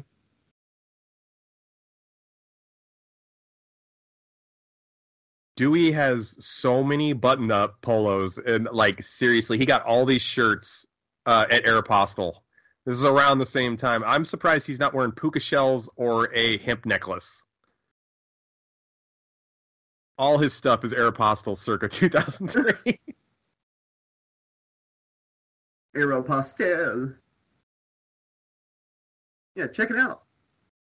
so he's he's talking about how you know how many actresses have worked for me. Uh, you know how long I've been in this business, and the only movie posters he has up are Stab One and Stab Two. Yeah, and he's got he he he did work on on uh, let's see here, Robo Public Servant there behind him. Did you see? Robo Terminator. Robo Terminator cop. That robot behind him looks like the Krang in the t- Teenage Mutant Ninja Turtles reboot CGI cartoon in like 2013. Oh yeah, my kids watched that when they were little. It looks like the Krang. It sure does. Or uh, Lance Henriksen's uh, body when you find out he was a robot in uh, Aliens. Man, Lance Henriksen's career really kind of like started out real hot, and then later on he started like, okay, all, all of a sudden he's in Scream Three, and then all of a sudden he's like in Hell World, and then he's like in just straight to Redbox movies, and he's like in Hallmark movies. Then he's in like you know independent hundred dollar budget movies, and now Nicolas Cage is trying to be just like him. He's trying to catch up. Dude, Nicolas Cage um, takes pretty much any role because he is terrible with money. He like bought, didn't he buy like the first ever copy of Superman? I know he did that, but he also bought like the Elephant Man's bones or something, or was that Michael Jackson? He buys weird shit. He named his son Kal El. That's all I know. Yeah, it, you know Nicolas Cage was supposed to play Superman at one point in Oh, the yeah. Tim Burton Superman movie. The, the the script for that would have actually been a badass Superman movie, but that not- picture they have of him Not has with been him. doctored, and it, the suit wasn't finished. I've got a whole topic, but that's for like a different day. Like it- Not- there's a there's a documentary. Well, that would have been a slash tr- slash tracks film, uh, Master Evil. We could have watched that Superman, and he would have With broke him as. Superman, yes, but the script itself was actually really, really good for the, the comics. But, um, uh oh, he just said something to uh, make him the suspicious as the one of the killers again. On hey on those little post-it, those yellow post-its on his computer, it says, uh, "Get bread, uh, hair gel." It's just not even cop stuff. It's just stuff he needs for his house. Call Shirley or whatever Yeah. her name was. The name. yeah, from Freddy's Revenge. He's got the number Ghostface Killer right there with the number written down. cell phone one, cell phone two. No, and, and in another note, it says, "Don't tell people you're you're Ghostface." Remember, don't tell people you are the killer. There's like there's like ten note ten post-its up there. There's like every number for Cotton Weary. One of them, hey, one of them up there says uh, how to clone a cell phone, and then he's got the "Killing for Dummies" book right on, like right on his desk.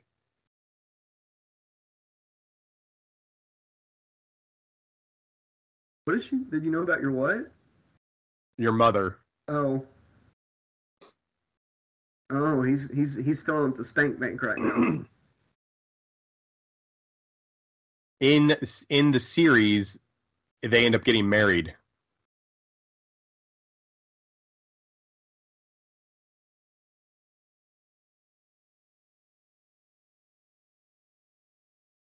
then I started seeing dead people.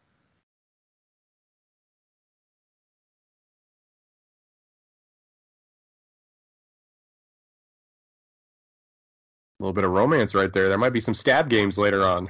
McDreamy's getting a little uh a little he's wanting to play some stab games with uh, Mrs. Campbell there. on his on his cop belt right there. He's got his cuffs. He's got his gun. He's got his clone cell phone. he's got a he's got a 12 inch dildo attached to it for stab games later. Showgirls. wow. Supposed to if you don't love your job, man, get a different job. Life's too short not to be happy.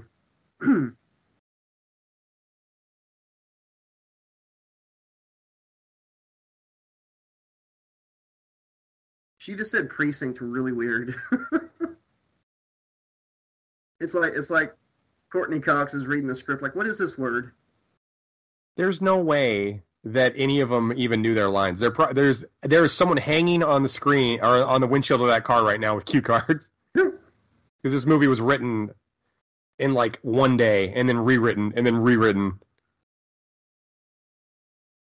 You can see the reflection of the guy holding on for dear life right now as Dewey's pretending to have a phone call.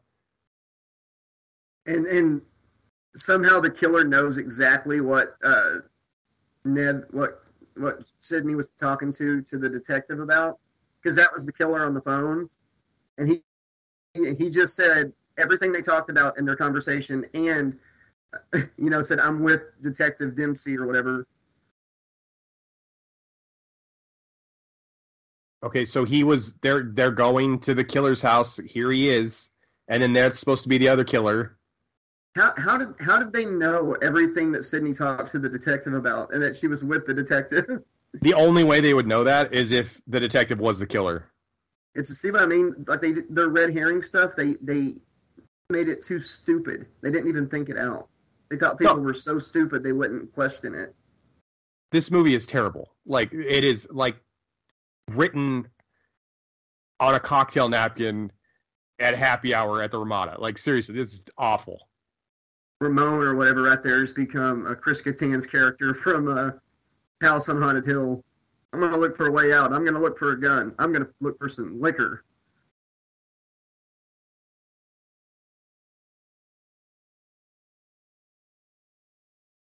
That's not cool. That's Dewey. You guys want to come? I, I play a wicked stab game. Was that was that too dirty? I'm sorry. No. Oh, you're just I- not gonna laugh. We're not laughing at jokes anymore. I get it. No, we're not allowed to. People in the commentary, people in the comments below said we can't laugh at our own shit anymore. I sometimes, trying to keep our eyes open. yeah, sometimes I just laugh at stuff that we say so we can get mean comments so I can post it on the podcast later on. like, please be a dick. Suit yourself. I'm just gonna go down here with this bottle that was empty a while ago, but somehow I'm still drinking out of it. What? What, Dad?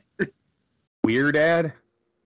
Like like where, Dad? Like a werewolf, like- Dad? like a werewolf. But she said weird. the killer is a mannequin. I just figured it out. It was mannequin number two.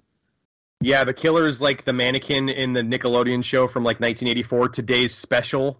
So he only comes to life when the when the stab mask is put on the mannequin's body.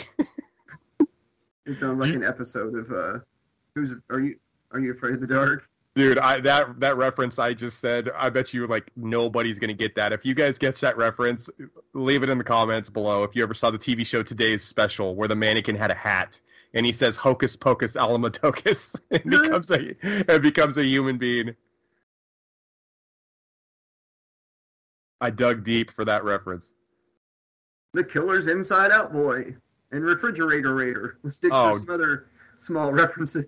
And Stick Stickly reporting here from the set of Stab Three.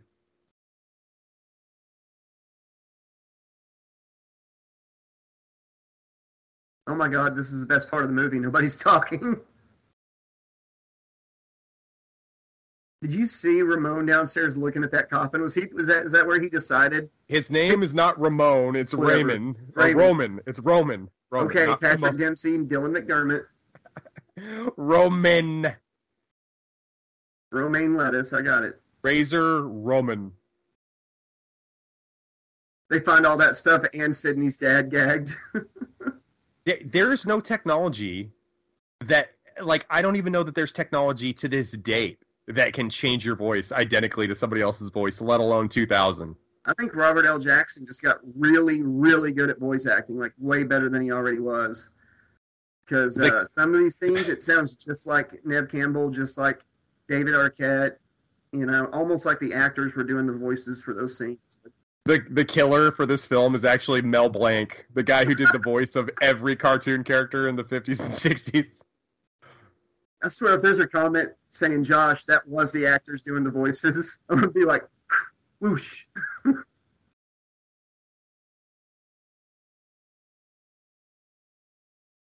That doorway, man. I remember. Do you remember seeing the preview for this movie and seeing the knife being thrown at uh, Dewey in the trailer? No, the top of the I don't. stairs? Nope. I thought he was going to die in the movie, and I was like, no, if they kill him, I'm done. Even back, even back in what 2000 is that when this came out? Yeah, my junior year of high school. Yeah, even back then, I was like, if they kill Dewey, I'm done. I'll, I probably won't watch part six. I'm just going to ask you how, how it goes. I'm gonna send it to you whether you want to or not. yeah, some good movies today. I did get some good movies today for my birthday. Thank you very much. Master Evil, but Master Evil's a hey, Master Evil's a real asshole. You sent me these movies, but I have nothing to watch them on, so I just can look at look at their cases. And I sent you the whole Jason set, but he replaced it with Leprechaun in Space. That Yeah, three and four. Okay. She just saw the dead body and checked his pulse and reacted as if he was dead. How did Roman, did I get it right? How Yes. did Roman know how to take what kind of drug or something to stop his heart or slow it down? I don't know. And why if that this okay. So this gal right here, who's supposed to be playing Sidney, if she's not actually the killer, like they intended her to be the other killer, they can't explain why she's acting so crazy. Why she's jumping out of places, jumping on toilets, trying to hide herself with the screams crap. She's just a psycho. She's She just, just- weird as shit. She disappears and then all of a sudden she's back at the end because they filmed the scene to change the story. Yeah, this this is a mess. This movie is a mess. Yeah, that right there was that's the scene they added right there, actually, I think. This is the one they shot later.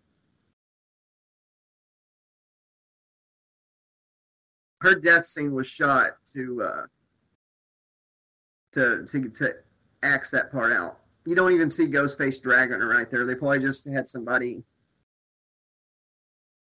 PA Hey, she, hey, they had to film that scene like two or three times because the actress uh, playing the gal who just died right there, she was so happy that she was going to be removed from the from this film that she was smiling. So they had to like, like, no, you're dead. You, it's sad that you're dead. You're not happy.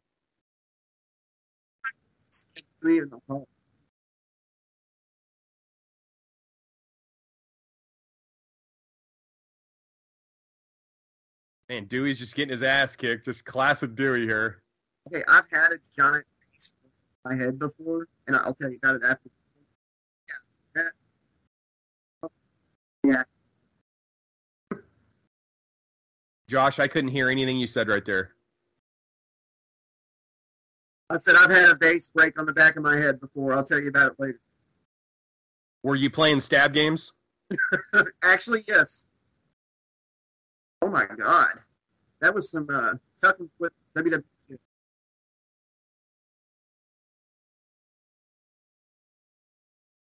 Well, that that that was a un- Alex. Just taking out the trash right there, dude. Like that guy stood no chance. No chance him. Okay, What? explain to me how if if Roman is the only killer, how he went from upstairs to downstairs. Makes no sense. And also, why does Roman have stairs that lead to a sex dungeon? Those are the or like a cauldron. That those stairs are only in castles. Hey, now they've done. They set up part six. They could use this that there was a second killer the whole time, and it's like they can find somebody from this movie to show up. And why does that the producer guy at his house have? That's not Roman's house. That's the old. That's Lance Henriksen's house. Why does he have soundproof closets?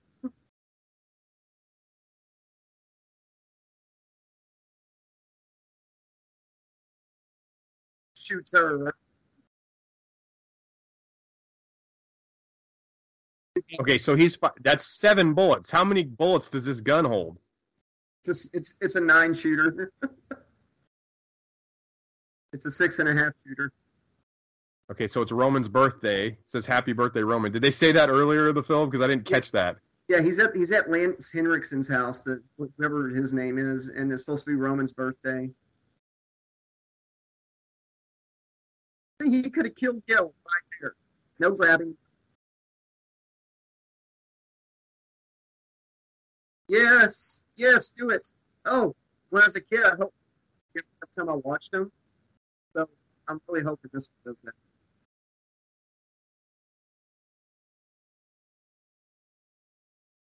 I would rather us have that faith than have to finish this movie, Alex.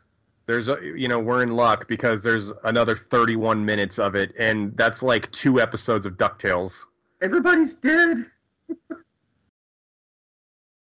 30 minutes of, of what?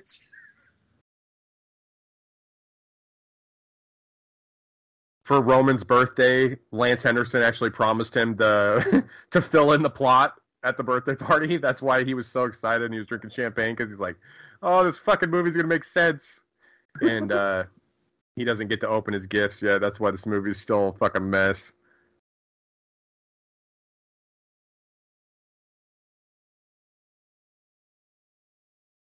So is he using the voice changer here again? No, I think it's really her, but he thinks that he he thinks he's like, wait.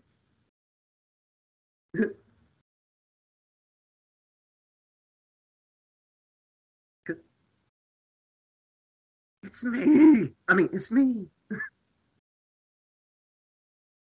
Why doesn't he just ask? Why doesn't he just ask her what his kink is? She'd Exactly. know. There you go, Alex. Okay, so it holds seven bullets. You really don't remember that from the trailer? No, um, he's an ex. That I don't even think that would knock him out. That would I just know. ir- it would just uh, irritate him. It would be annoying more than anything. The base to the back of the head uh, did way less damage than that did. That that's crazy. Pizza party. they got they That- solved hundred cases that month.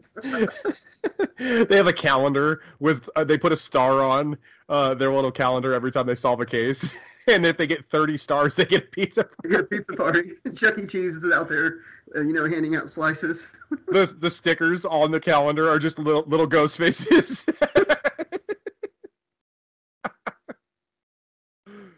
Hidley Sescott. That cop, the second cop that was behind the pissy detective, I've in the entire film, all he's doing, he's walking behind one of the detectives. He doesn't say anything in an earlier scene, and then the next scene, he's eating pizza. That's all he does in this film.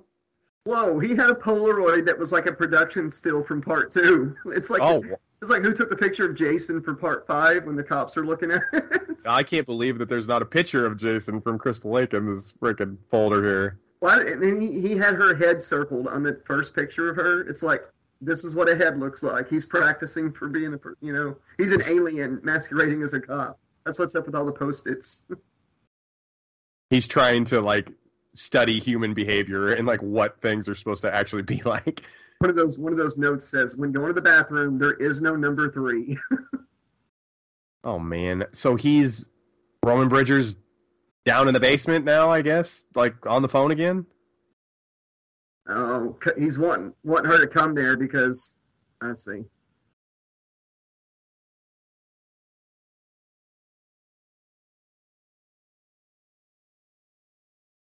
I want to play a stab game. How would he even know if she brought someone or told someone after she gets off the phone? Or like right now, she could just signal because he's the only one. Does he have a camera on her right now? There's two killers. That's why. Because that other girl probably would have been like watching her while he was there. Stupid. I know. He would never know.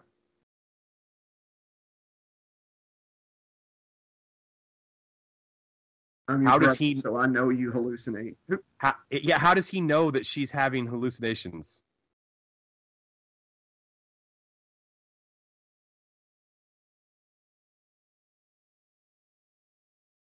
Robert L. Jackson is an amazing voice actor. I got to give him that.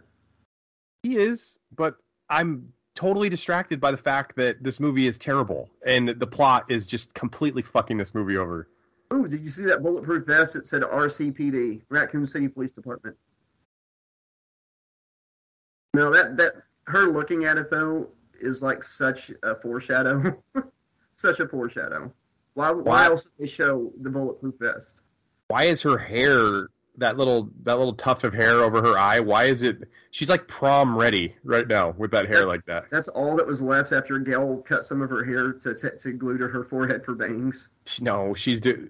But Gale has bang envy here. Like, act what hair is actually supposed to look like.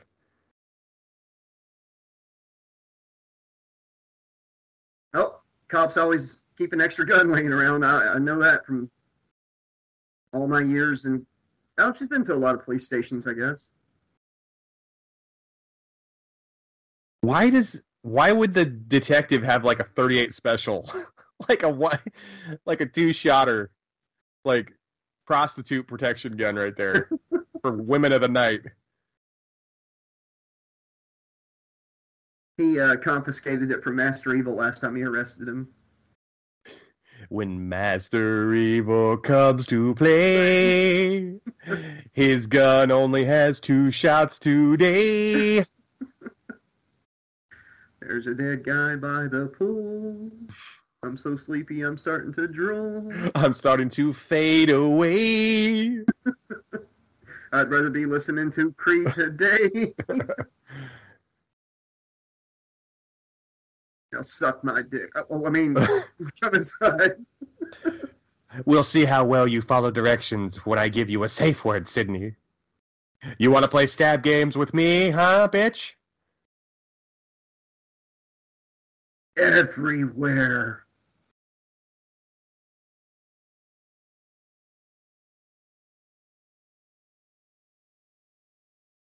He set up a metal detector anticipating that she would bring a gun. Because the, because the other girl was at the police station. I'm telling you, that's what the, that's what this scene was. She was following her. Oh that that doesn't even look like the same gun she had. I think she found another gun. That gun wasn't even a real gun anyway. It was just a cigarette lighter. It was just a novelty cigarette lighter. the movie can't end until you come inside. Go into the house. I know it's a horror movie and that's a bad idea, but please go. We started season three off with the scream. I'm screaming in my head. How are you holding up? You doing okay, Dewey? How do you know it's a he? That is so sexist. Exactly. Exactly. So sexist. You hit the knife right on top of Dewey's head with that one, Josh. Why, why did they never shoot him in the face first? Like when Dewey dies in part five, he kind of deserves it. He should have known to do headshots. You know? Dewey Dewey jacks up the killer big time in that scene. He's a major hero. He's pulling off wrestling moves, dude. Arm bars and stuff. I would have rather him died in the opening credits. I'm sorry. If he if they were going to kill him, they should have done a Cotton Weary with him or Gil. Part six, I think it's going to start with Gil's death, and I, I I might actually watch it if that happens. I hate to burst your bubble, but I've seen like skill like still shots from the production, and she's like in a multiple multiple still shots. and there's no Sidney.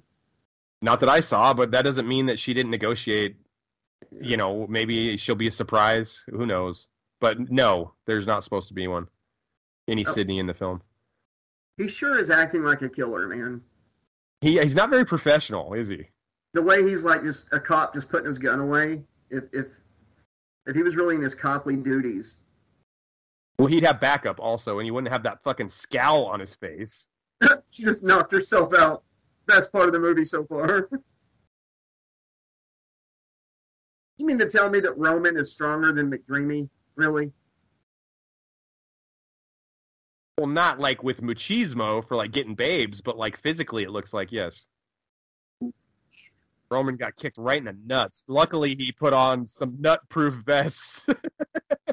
he's got a he's got a cup and a bulletproof vest.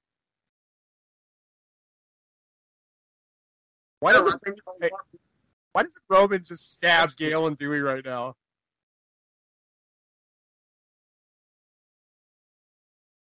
using Dewey Gale to get her here, but why keep why? You know, after she showed up- after she showed up, get her. Josh, are you recording your lines underwater right now? Oh, I'm Does Master, sorry. is I he grounding you? right I now? backed up a bit. the movie is making me back.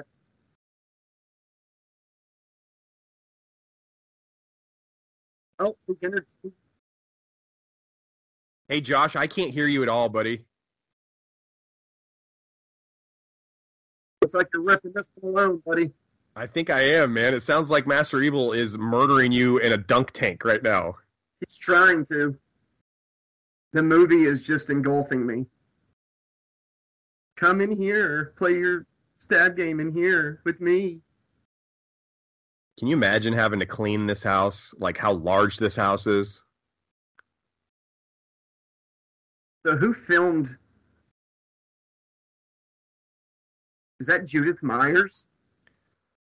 Is she actually seeing this, or is this just like film that Lance Henriksen happened to have? He just happened to have it, I guess. I'll tell you what's the matter. This movie's still got 20 fucking minutes. That's what's the matter. Wait a minute. Why he's already he's already disguised. Why did he need to disguise himself from the disguise? And how did he know about her hallucinations? Who's the killer? It's me, Robert L. Jackson. I'm done making these fucking movies. You're all dead. I like it how in movies when people get shot with bulletproof vests, um, they they, they live right. They're they're Yeah. fine and everything. But like if you actually got shot still and you're wearing a bulletproof vest, you'd still be pretty fucked up. You'd have broken ribs. Yeah, you wouldn't even be able to breathe. He's totally fine though. That's right, Sidney. We ran out of people that could actually be the killer. That we invented a, a sibling for you. Lamest reveal ever. Like nobody cares. His tombstone is going to be easy to to produce though because I mean he dies on his own birthday. Right? So you just only need one. You don't even need a dash at that point, do you? No, just put like you know, like quotation Whatever the- marks. Yeah, whatever the date is, and whatever the year and the year, I guess. Like it can be like 11 20, uh, 1972 to 2000. You don't have to put like the month and the day. Wait a minute. So he Roman Bridgers got like surveillance footage of his, her, their mom banging Cotton Weary. Like Oh no, that's his dad. what? Before he was born, he set up a he, he hired a private detective to get that footage. This is like '95 when he because if Scream the first Scream came out in '96, and he's responsible for Billy and Stu. Um, that is like the greatest camcorder footage ever from like '95, '96. Oh, that oh that was footage of her banging uh dude's mom, dude's dad. I get it. Okay. yeah, So yeah. What the hell?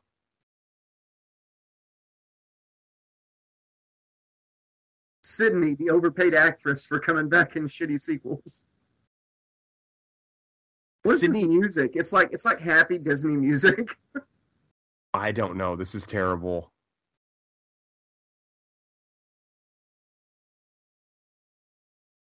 He looks like he just took too much coke. He's Right. got a massive nose, a head rush, and a massive nosebleed. He is tripping balls right now. Look at her. She is not wearing a bulletproof vest, and that she is not wearing one. She pulls out Sidney's dad. he's, he's in the closet again. Ooh, that'd be cool to find out he was the second killer. Playing stab games.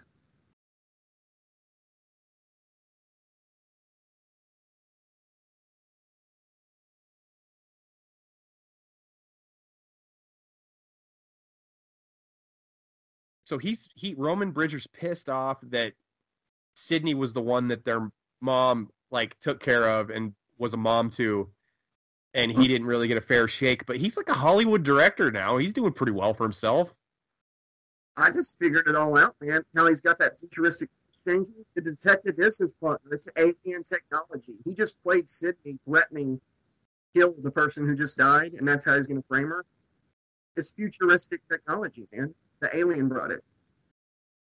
that robot behind Lance's desk is the one who's responsible for all this. Like, wouldn't the cops, if, if this technology he's using is available, wouldn't they know that could be possibly not her real? Does he have the only one in existence? I have no idea, but it was definitely Sidney in the study with the candlestick. Oh, you're right.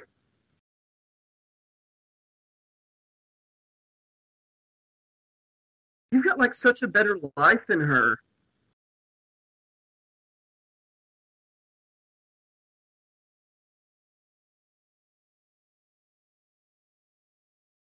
What a terrible, what a terrible way to find out you have a brother.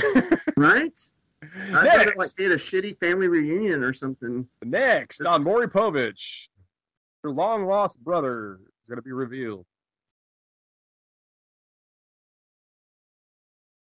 If he's this psychotic, how's he been able to contain himself this whole movie? Yeah, he. I mean, seriously, like you'd see him e- evilly cackling at some point, or just having crazy thoughts to himself at some point. like, you know, just walking along thinking nobody can hear him. Just give it time, Sidney. It's all going to reveal itself. What'd you say? Uh, what? Huh? N- nothing? Gonna get your ass, Sidney. My, my earbud fell out. All I heard was eat your ass, Sidney. Master Evil gave you earbuds, huh? Yeah. Wow, things have really taken a turn for the better for you in season three. Well, the first season he gave me earbuds like the like the hearing aid that guy had in Freddy's Dead, so it Yeah. kind of sucked. Nice hearing from you, Carlos. Oh God, we're gonna have to do that movie. I gotta shut Oh, up. Oh, mommy, not my ear. We already did that movie. We did. He's gonna make us do it again. No, he's not. Stand back! I'm gonna kill myself. I want out of this franchise now. Oh yeah, there was two other people in the house. Shit. I really should have ha- had a partner, Alex. So he, so they know how to pick locks now on Victorian style doors, huh? with a broken pair of tweezers that he used to short circuit the entire house, and not just the the area that would have the fuse would have been controlling. Uh, you short out an area, it wouldn't short the whole house out. It would just be the fuse for that section of the house.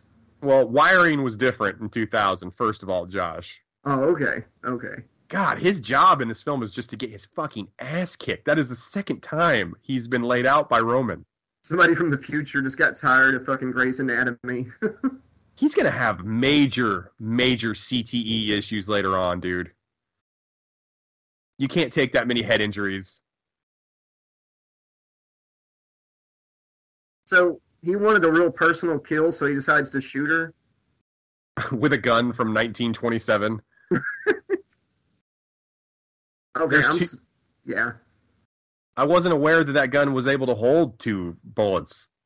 Huh. and I don't care how old the gun is, and even if you're wearing a bulletproof vest, she was shot high on the chest at point blank range. It's pretty. Yeah, that one probably would have went through her shoulder.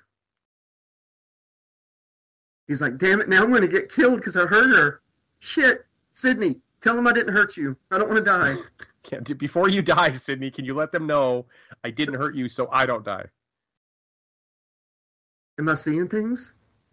Am I hallucinating? Because apparently I'm connected to my sister's psyche.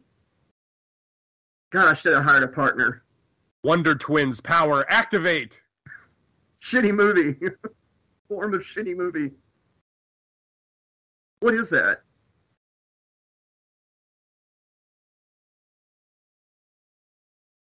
So, Gale, Gale and Dewey for the last 20 minutes of the movie are just running around this mansion in the dark. Doing nothing. Like they were tied to a chair, like doing nothing.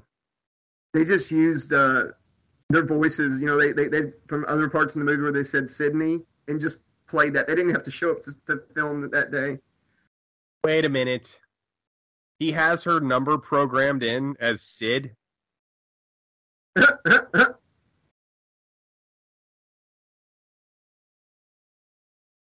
and I just shit my pants. I know he looked like he was taking a fat dump in his head. I shot you. They look alike, they talk alike, they shoot alike, they stab alike. They're siblings. they had no idea they were siblings. Five six central on ABC. Stab three. Oh my god, that's that's almost Wait a minute. Wait a- He's got a bulletproof vest on still. He's like, I knew I should have paid the extra for the knife, the knife proof vest. He's can you stab through a bulletproof vest like that?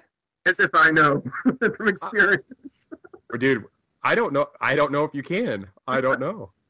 Can you stab through Kevlar? no, it wasn't Roman. I just really hate his movies, so I killed him. Yeah, he's not the killer.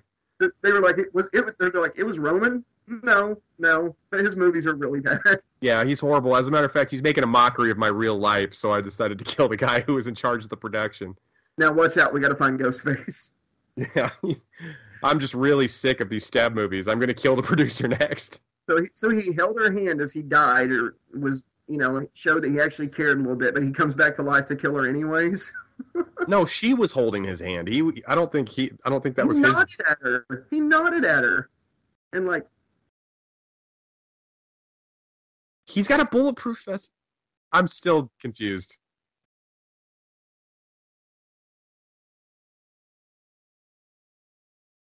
he just stood there and waited. Yeah, what he was like, hey, he was literally standing there waiting for Dewey to shoot him in the head. So what what are his legs like winding up like a car?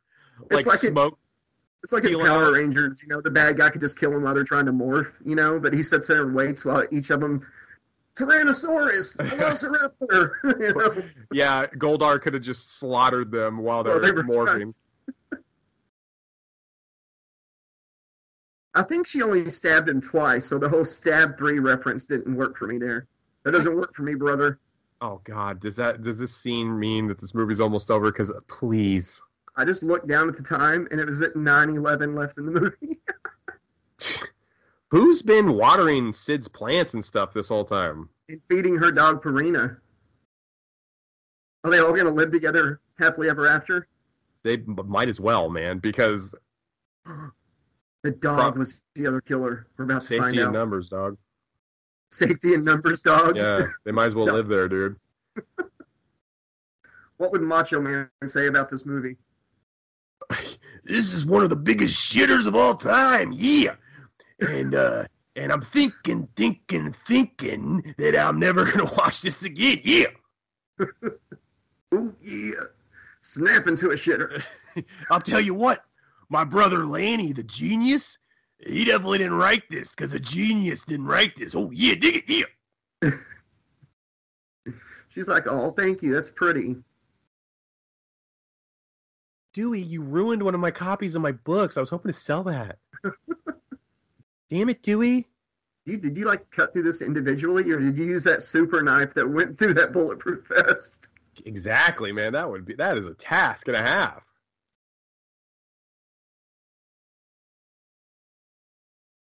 This movie's over. I'm just so happy. Me too.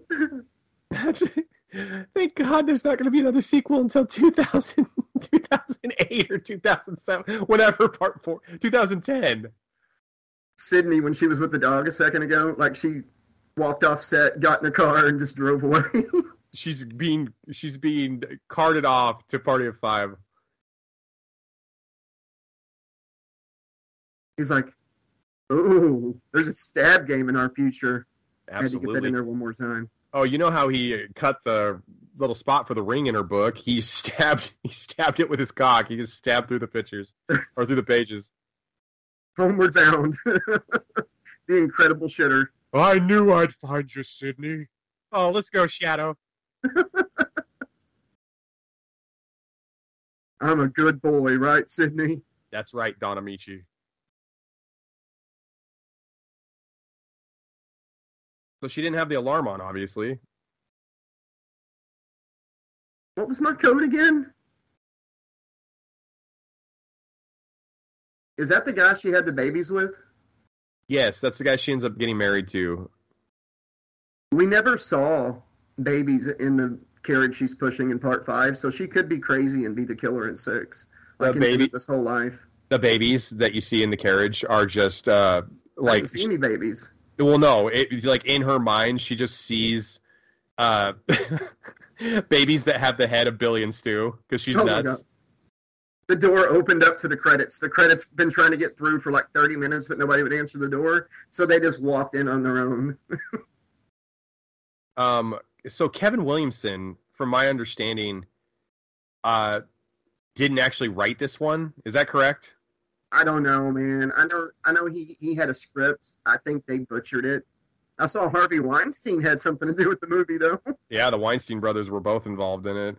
Um, and Harvey Weinstein's had a really great uh, life recently. He's he got got severe COVID in prison, where he fucking belongs. Oh yeah. The the credits are even going to get it wrong and say that the detective was Patrick was uh Dylan McDermott, just to fuck with me. Neve Campbell was in this movie so infrequently that she only had like two wardrobe changes in the entire film. She's like wearing that green hoodie like the entire film. Why the hell did Scott Foley get higher stuff than Lance Henriksen? higher credit there. Emily Mortimer. It would have been funny if they showed her in the like the costume from one of the cut scenes, and then it's like, oh shit, and like you see the words "oh shit," and then it's her in a normal clothes. She wasn't the other killer. Liev Schreiber. Uh, Patrick Warburton. I got it right. I actually got it right. did. I thought so. Unnecessary appearance by Jamie Kennedy, not a Yeah. special. I, I can't even believe Wes Craven attached his name to this film. Like, this is right up there with Swamp Thing for me. Like, this is a huge swing and a miss for Wes. Yeah, I bet. I bet he he regretted it after, um, Uh, for sure. His last film he ever did was Scream 4. Hey man, here's some Creed for us to rock out to while we're waiting for Master Evil to set us free from this. Yeah, in case you didn't have The a bad Boys. enough time. In case you didn't have a bad enough time with the film, here's some Creed, Creed to shuttle your ass out of the theater with. So which voice? Or the, it said the voice was Robert. so so he did do all. He did the sexy girl voice. He did Neve Campbell's voice. Waitress. I'm Oh, glad right they got the waitress there. Said right there, said Silent Bob and Freeberg. That guy in the goalie's mask was really pissed. Yeah, he was really pissed about something. Oh wow, they got property master JP Jones. He's the master of all property. What's your First- name, musical editor? Adam, okay?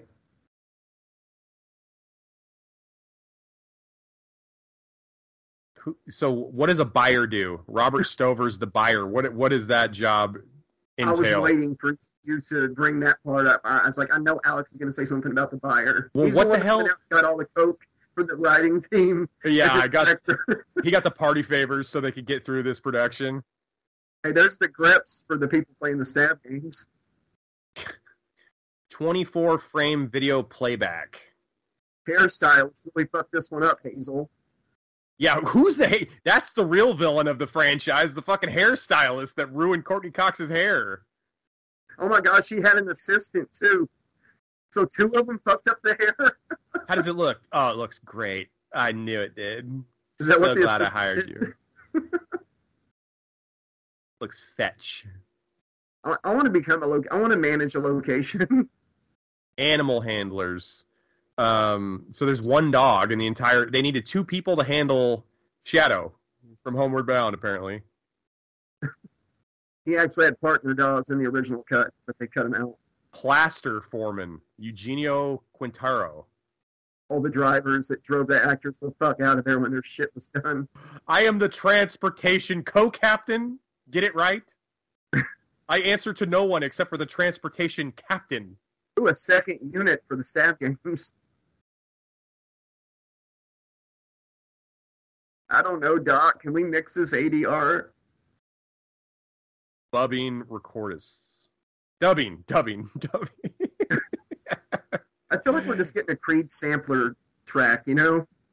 I, yeah, I, I could hear this soundtrack and tell you what year this movie came out. And you don't tell me when the movie came out, just let me hear the soundtrack. I'm like, boom, 99, 2000, 2001. It's one of those. Wow, the, the, the digital visual effects, all three of them were done by Pixel Magic. It's it's pixel magic. Well, there were some pixels. I know that.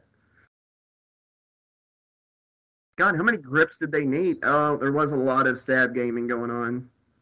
when you see how many people work on movies, you know, with the with the credits, it always makes me wonder how much money they made.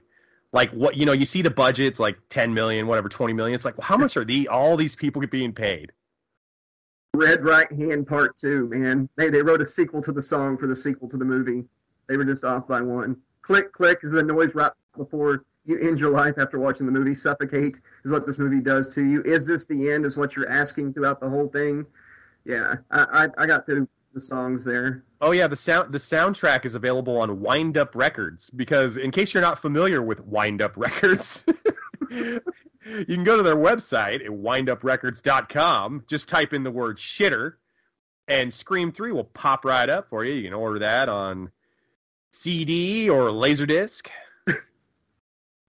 Just send the buyer. The buyer will get it for you. The buyer will get you uh, the copy of the soundtrack you need at Wind Up Records. You ready to get the fuck out of here? Let's go. I was ready an hour and a half ago. Let's go.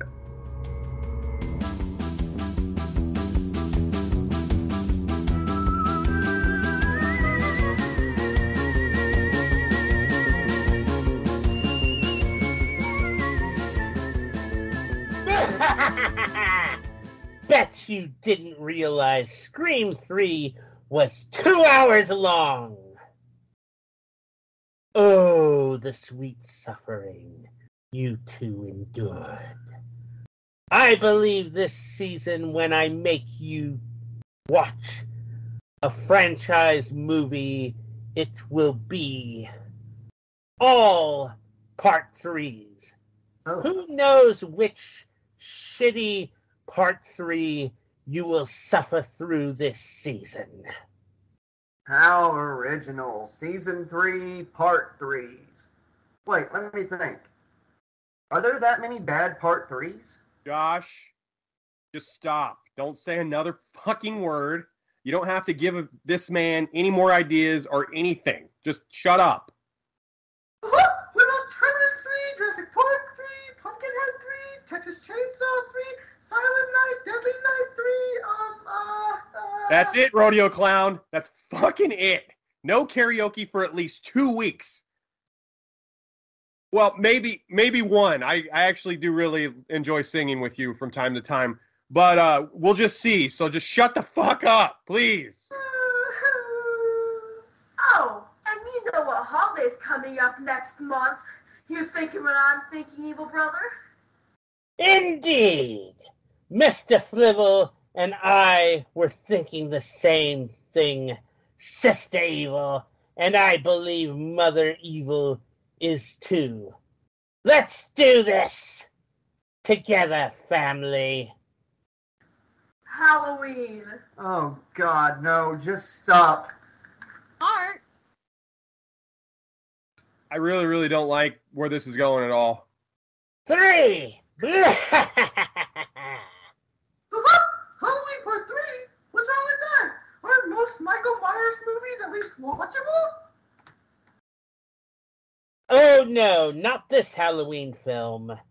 This is the night Michael stayed home. Instead, you will suffer through old Irish man witches in business suits attempting to bring about the end of the world by sacrificing millions of children by using masks made of weaker stuff than the plot of this movie. this Halloween, I trick you, and it will be a treat. Until then, boys, happy Halloween. I'll make Mr. Flibble a very evil Halloween costume for the occasion, dear. Now, time for bed. Your prisoners need to endure their month-long psychological torture in peace. Okay, Ma, I'm coming. Psychological torture in peace. Peace. I mean, I mean it, man. No karaoke for at least Th- three to five days. I, I actually do enjoy it from time to time. Three to five days. That'll that'll really teach him, Alex. Three to five days. You started at two weeks. You know what? I'm about to lose the feed. Just hang in there. Just hang in there, brother. Just try to hang in there. I'll do my best, but Halloween three, for the love of God, man, can someone just end this fucking show already, please? What up, Josh? What up, Alex slash track? What's going on? I'm busting in the damn head.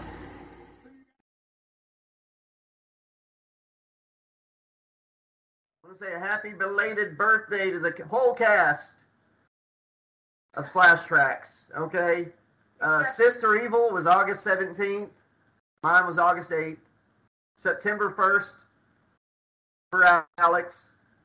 And Master Evil is going to reveal who he is for anybody that doesn't know, and he's going to tell you his birthday. Go for it.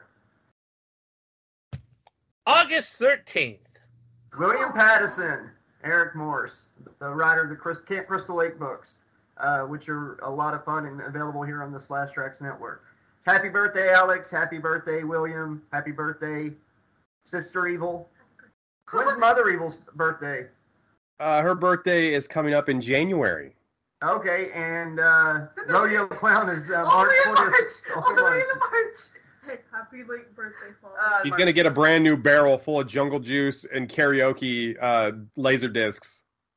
Well, we wanted to say something on uh, the podcast, uh, but this seems like a great time. Happy birthday, William. Happy birthday, Alex. Uh, everybody. Anybody else celebrating birthdays this month? Happy birthday, and we'll see you on Halloween. And happy birthday, Josh. Thank you. And with Season of the Witch, uh, I think we're gonna have fun riffing this A one. very uh, Oh, yeah. Comes in season four, so stay tuned. Yeah. Season four. What the fuck? I, I I haven't even had my agent look at the the rest of the episodes for season three, and the rodeo clown's already saying season four. I don't fucking think so, buddy. He just wants us to watch Ghoulies four. I don't. I don't think it's season ever gonna finale, happen. season four. He's probably got a big old freaking. He's probably got a big old uh, corkboard back there with strings attached to like all the way up to season seven and eight planned. Oh my goodness. All right. Take care. Bye. Bye. Bye.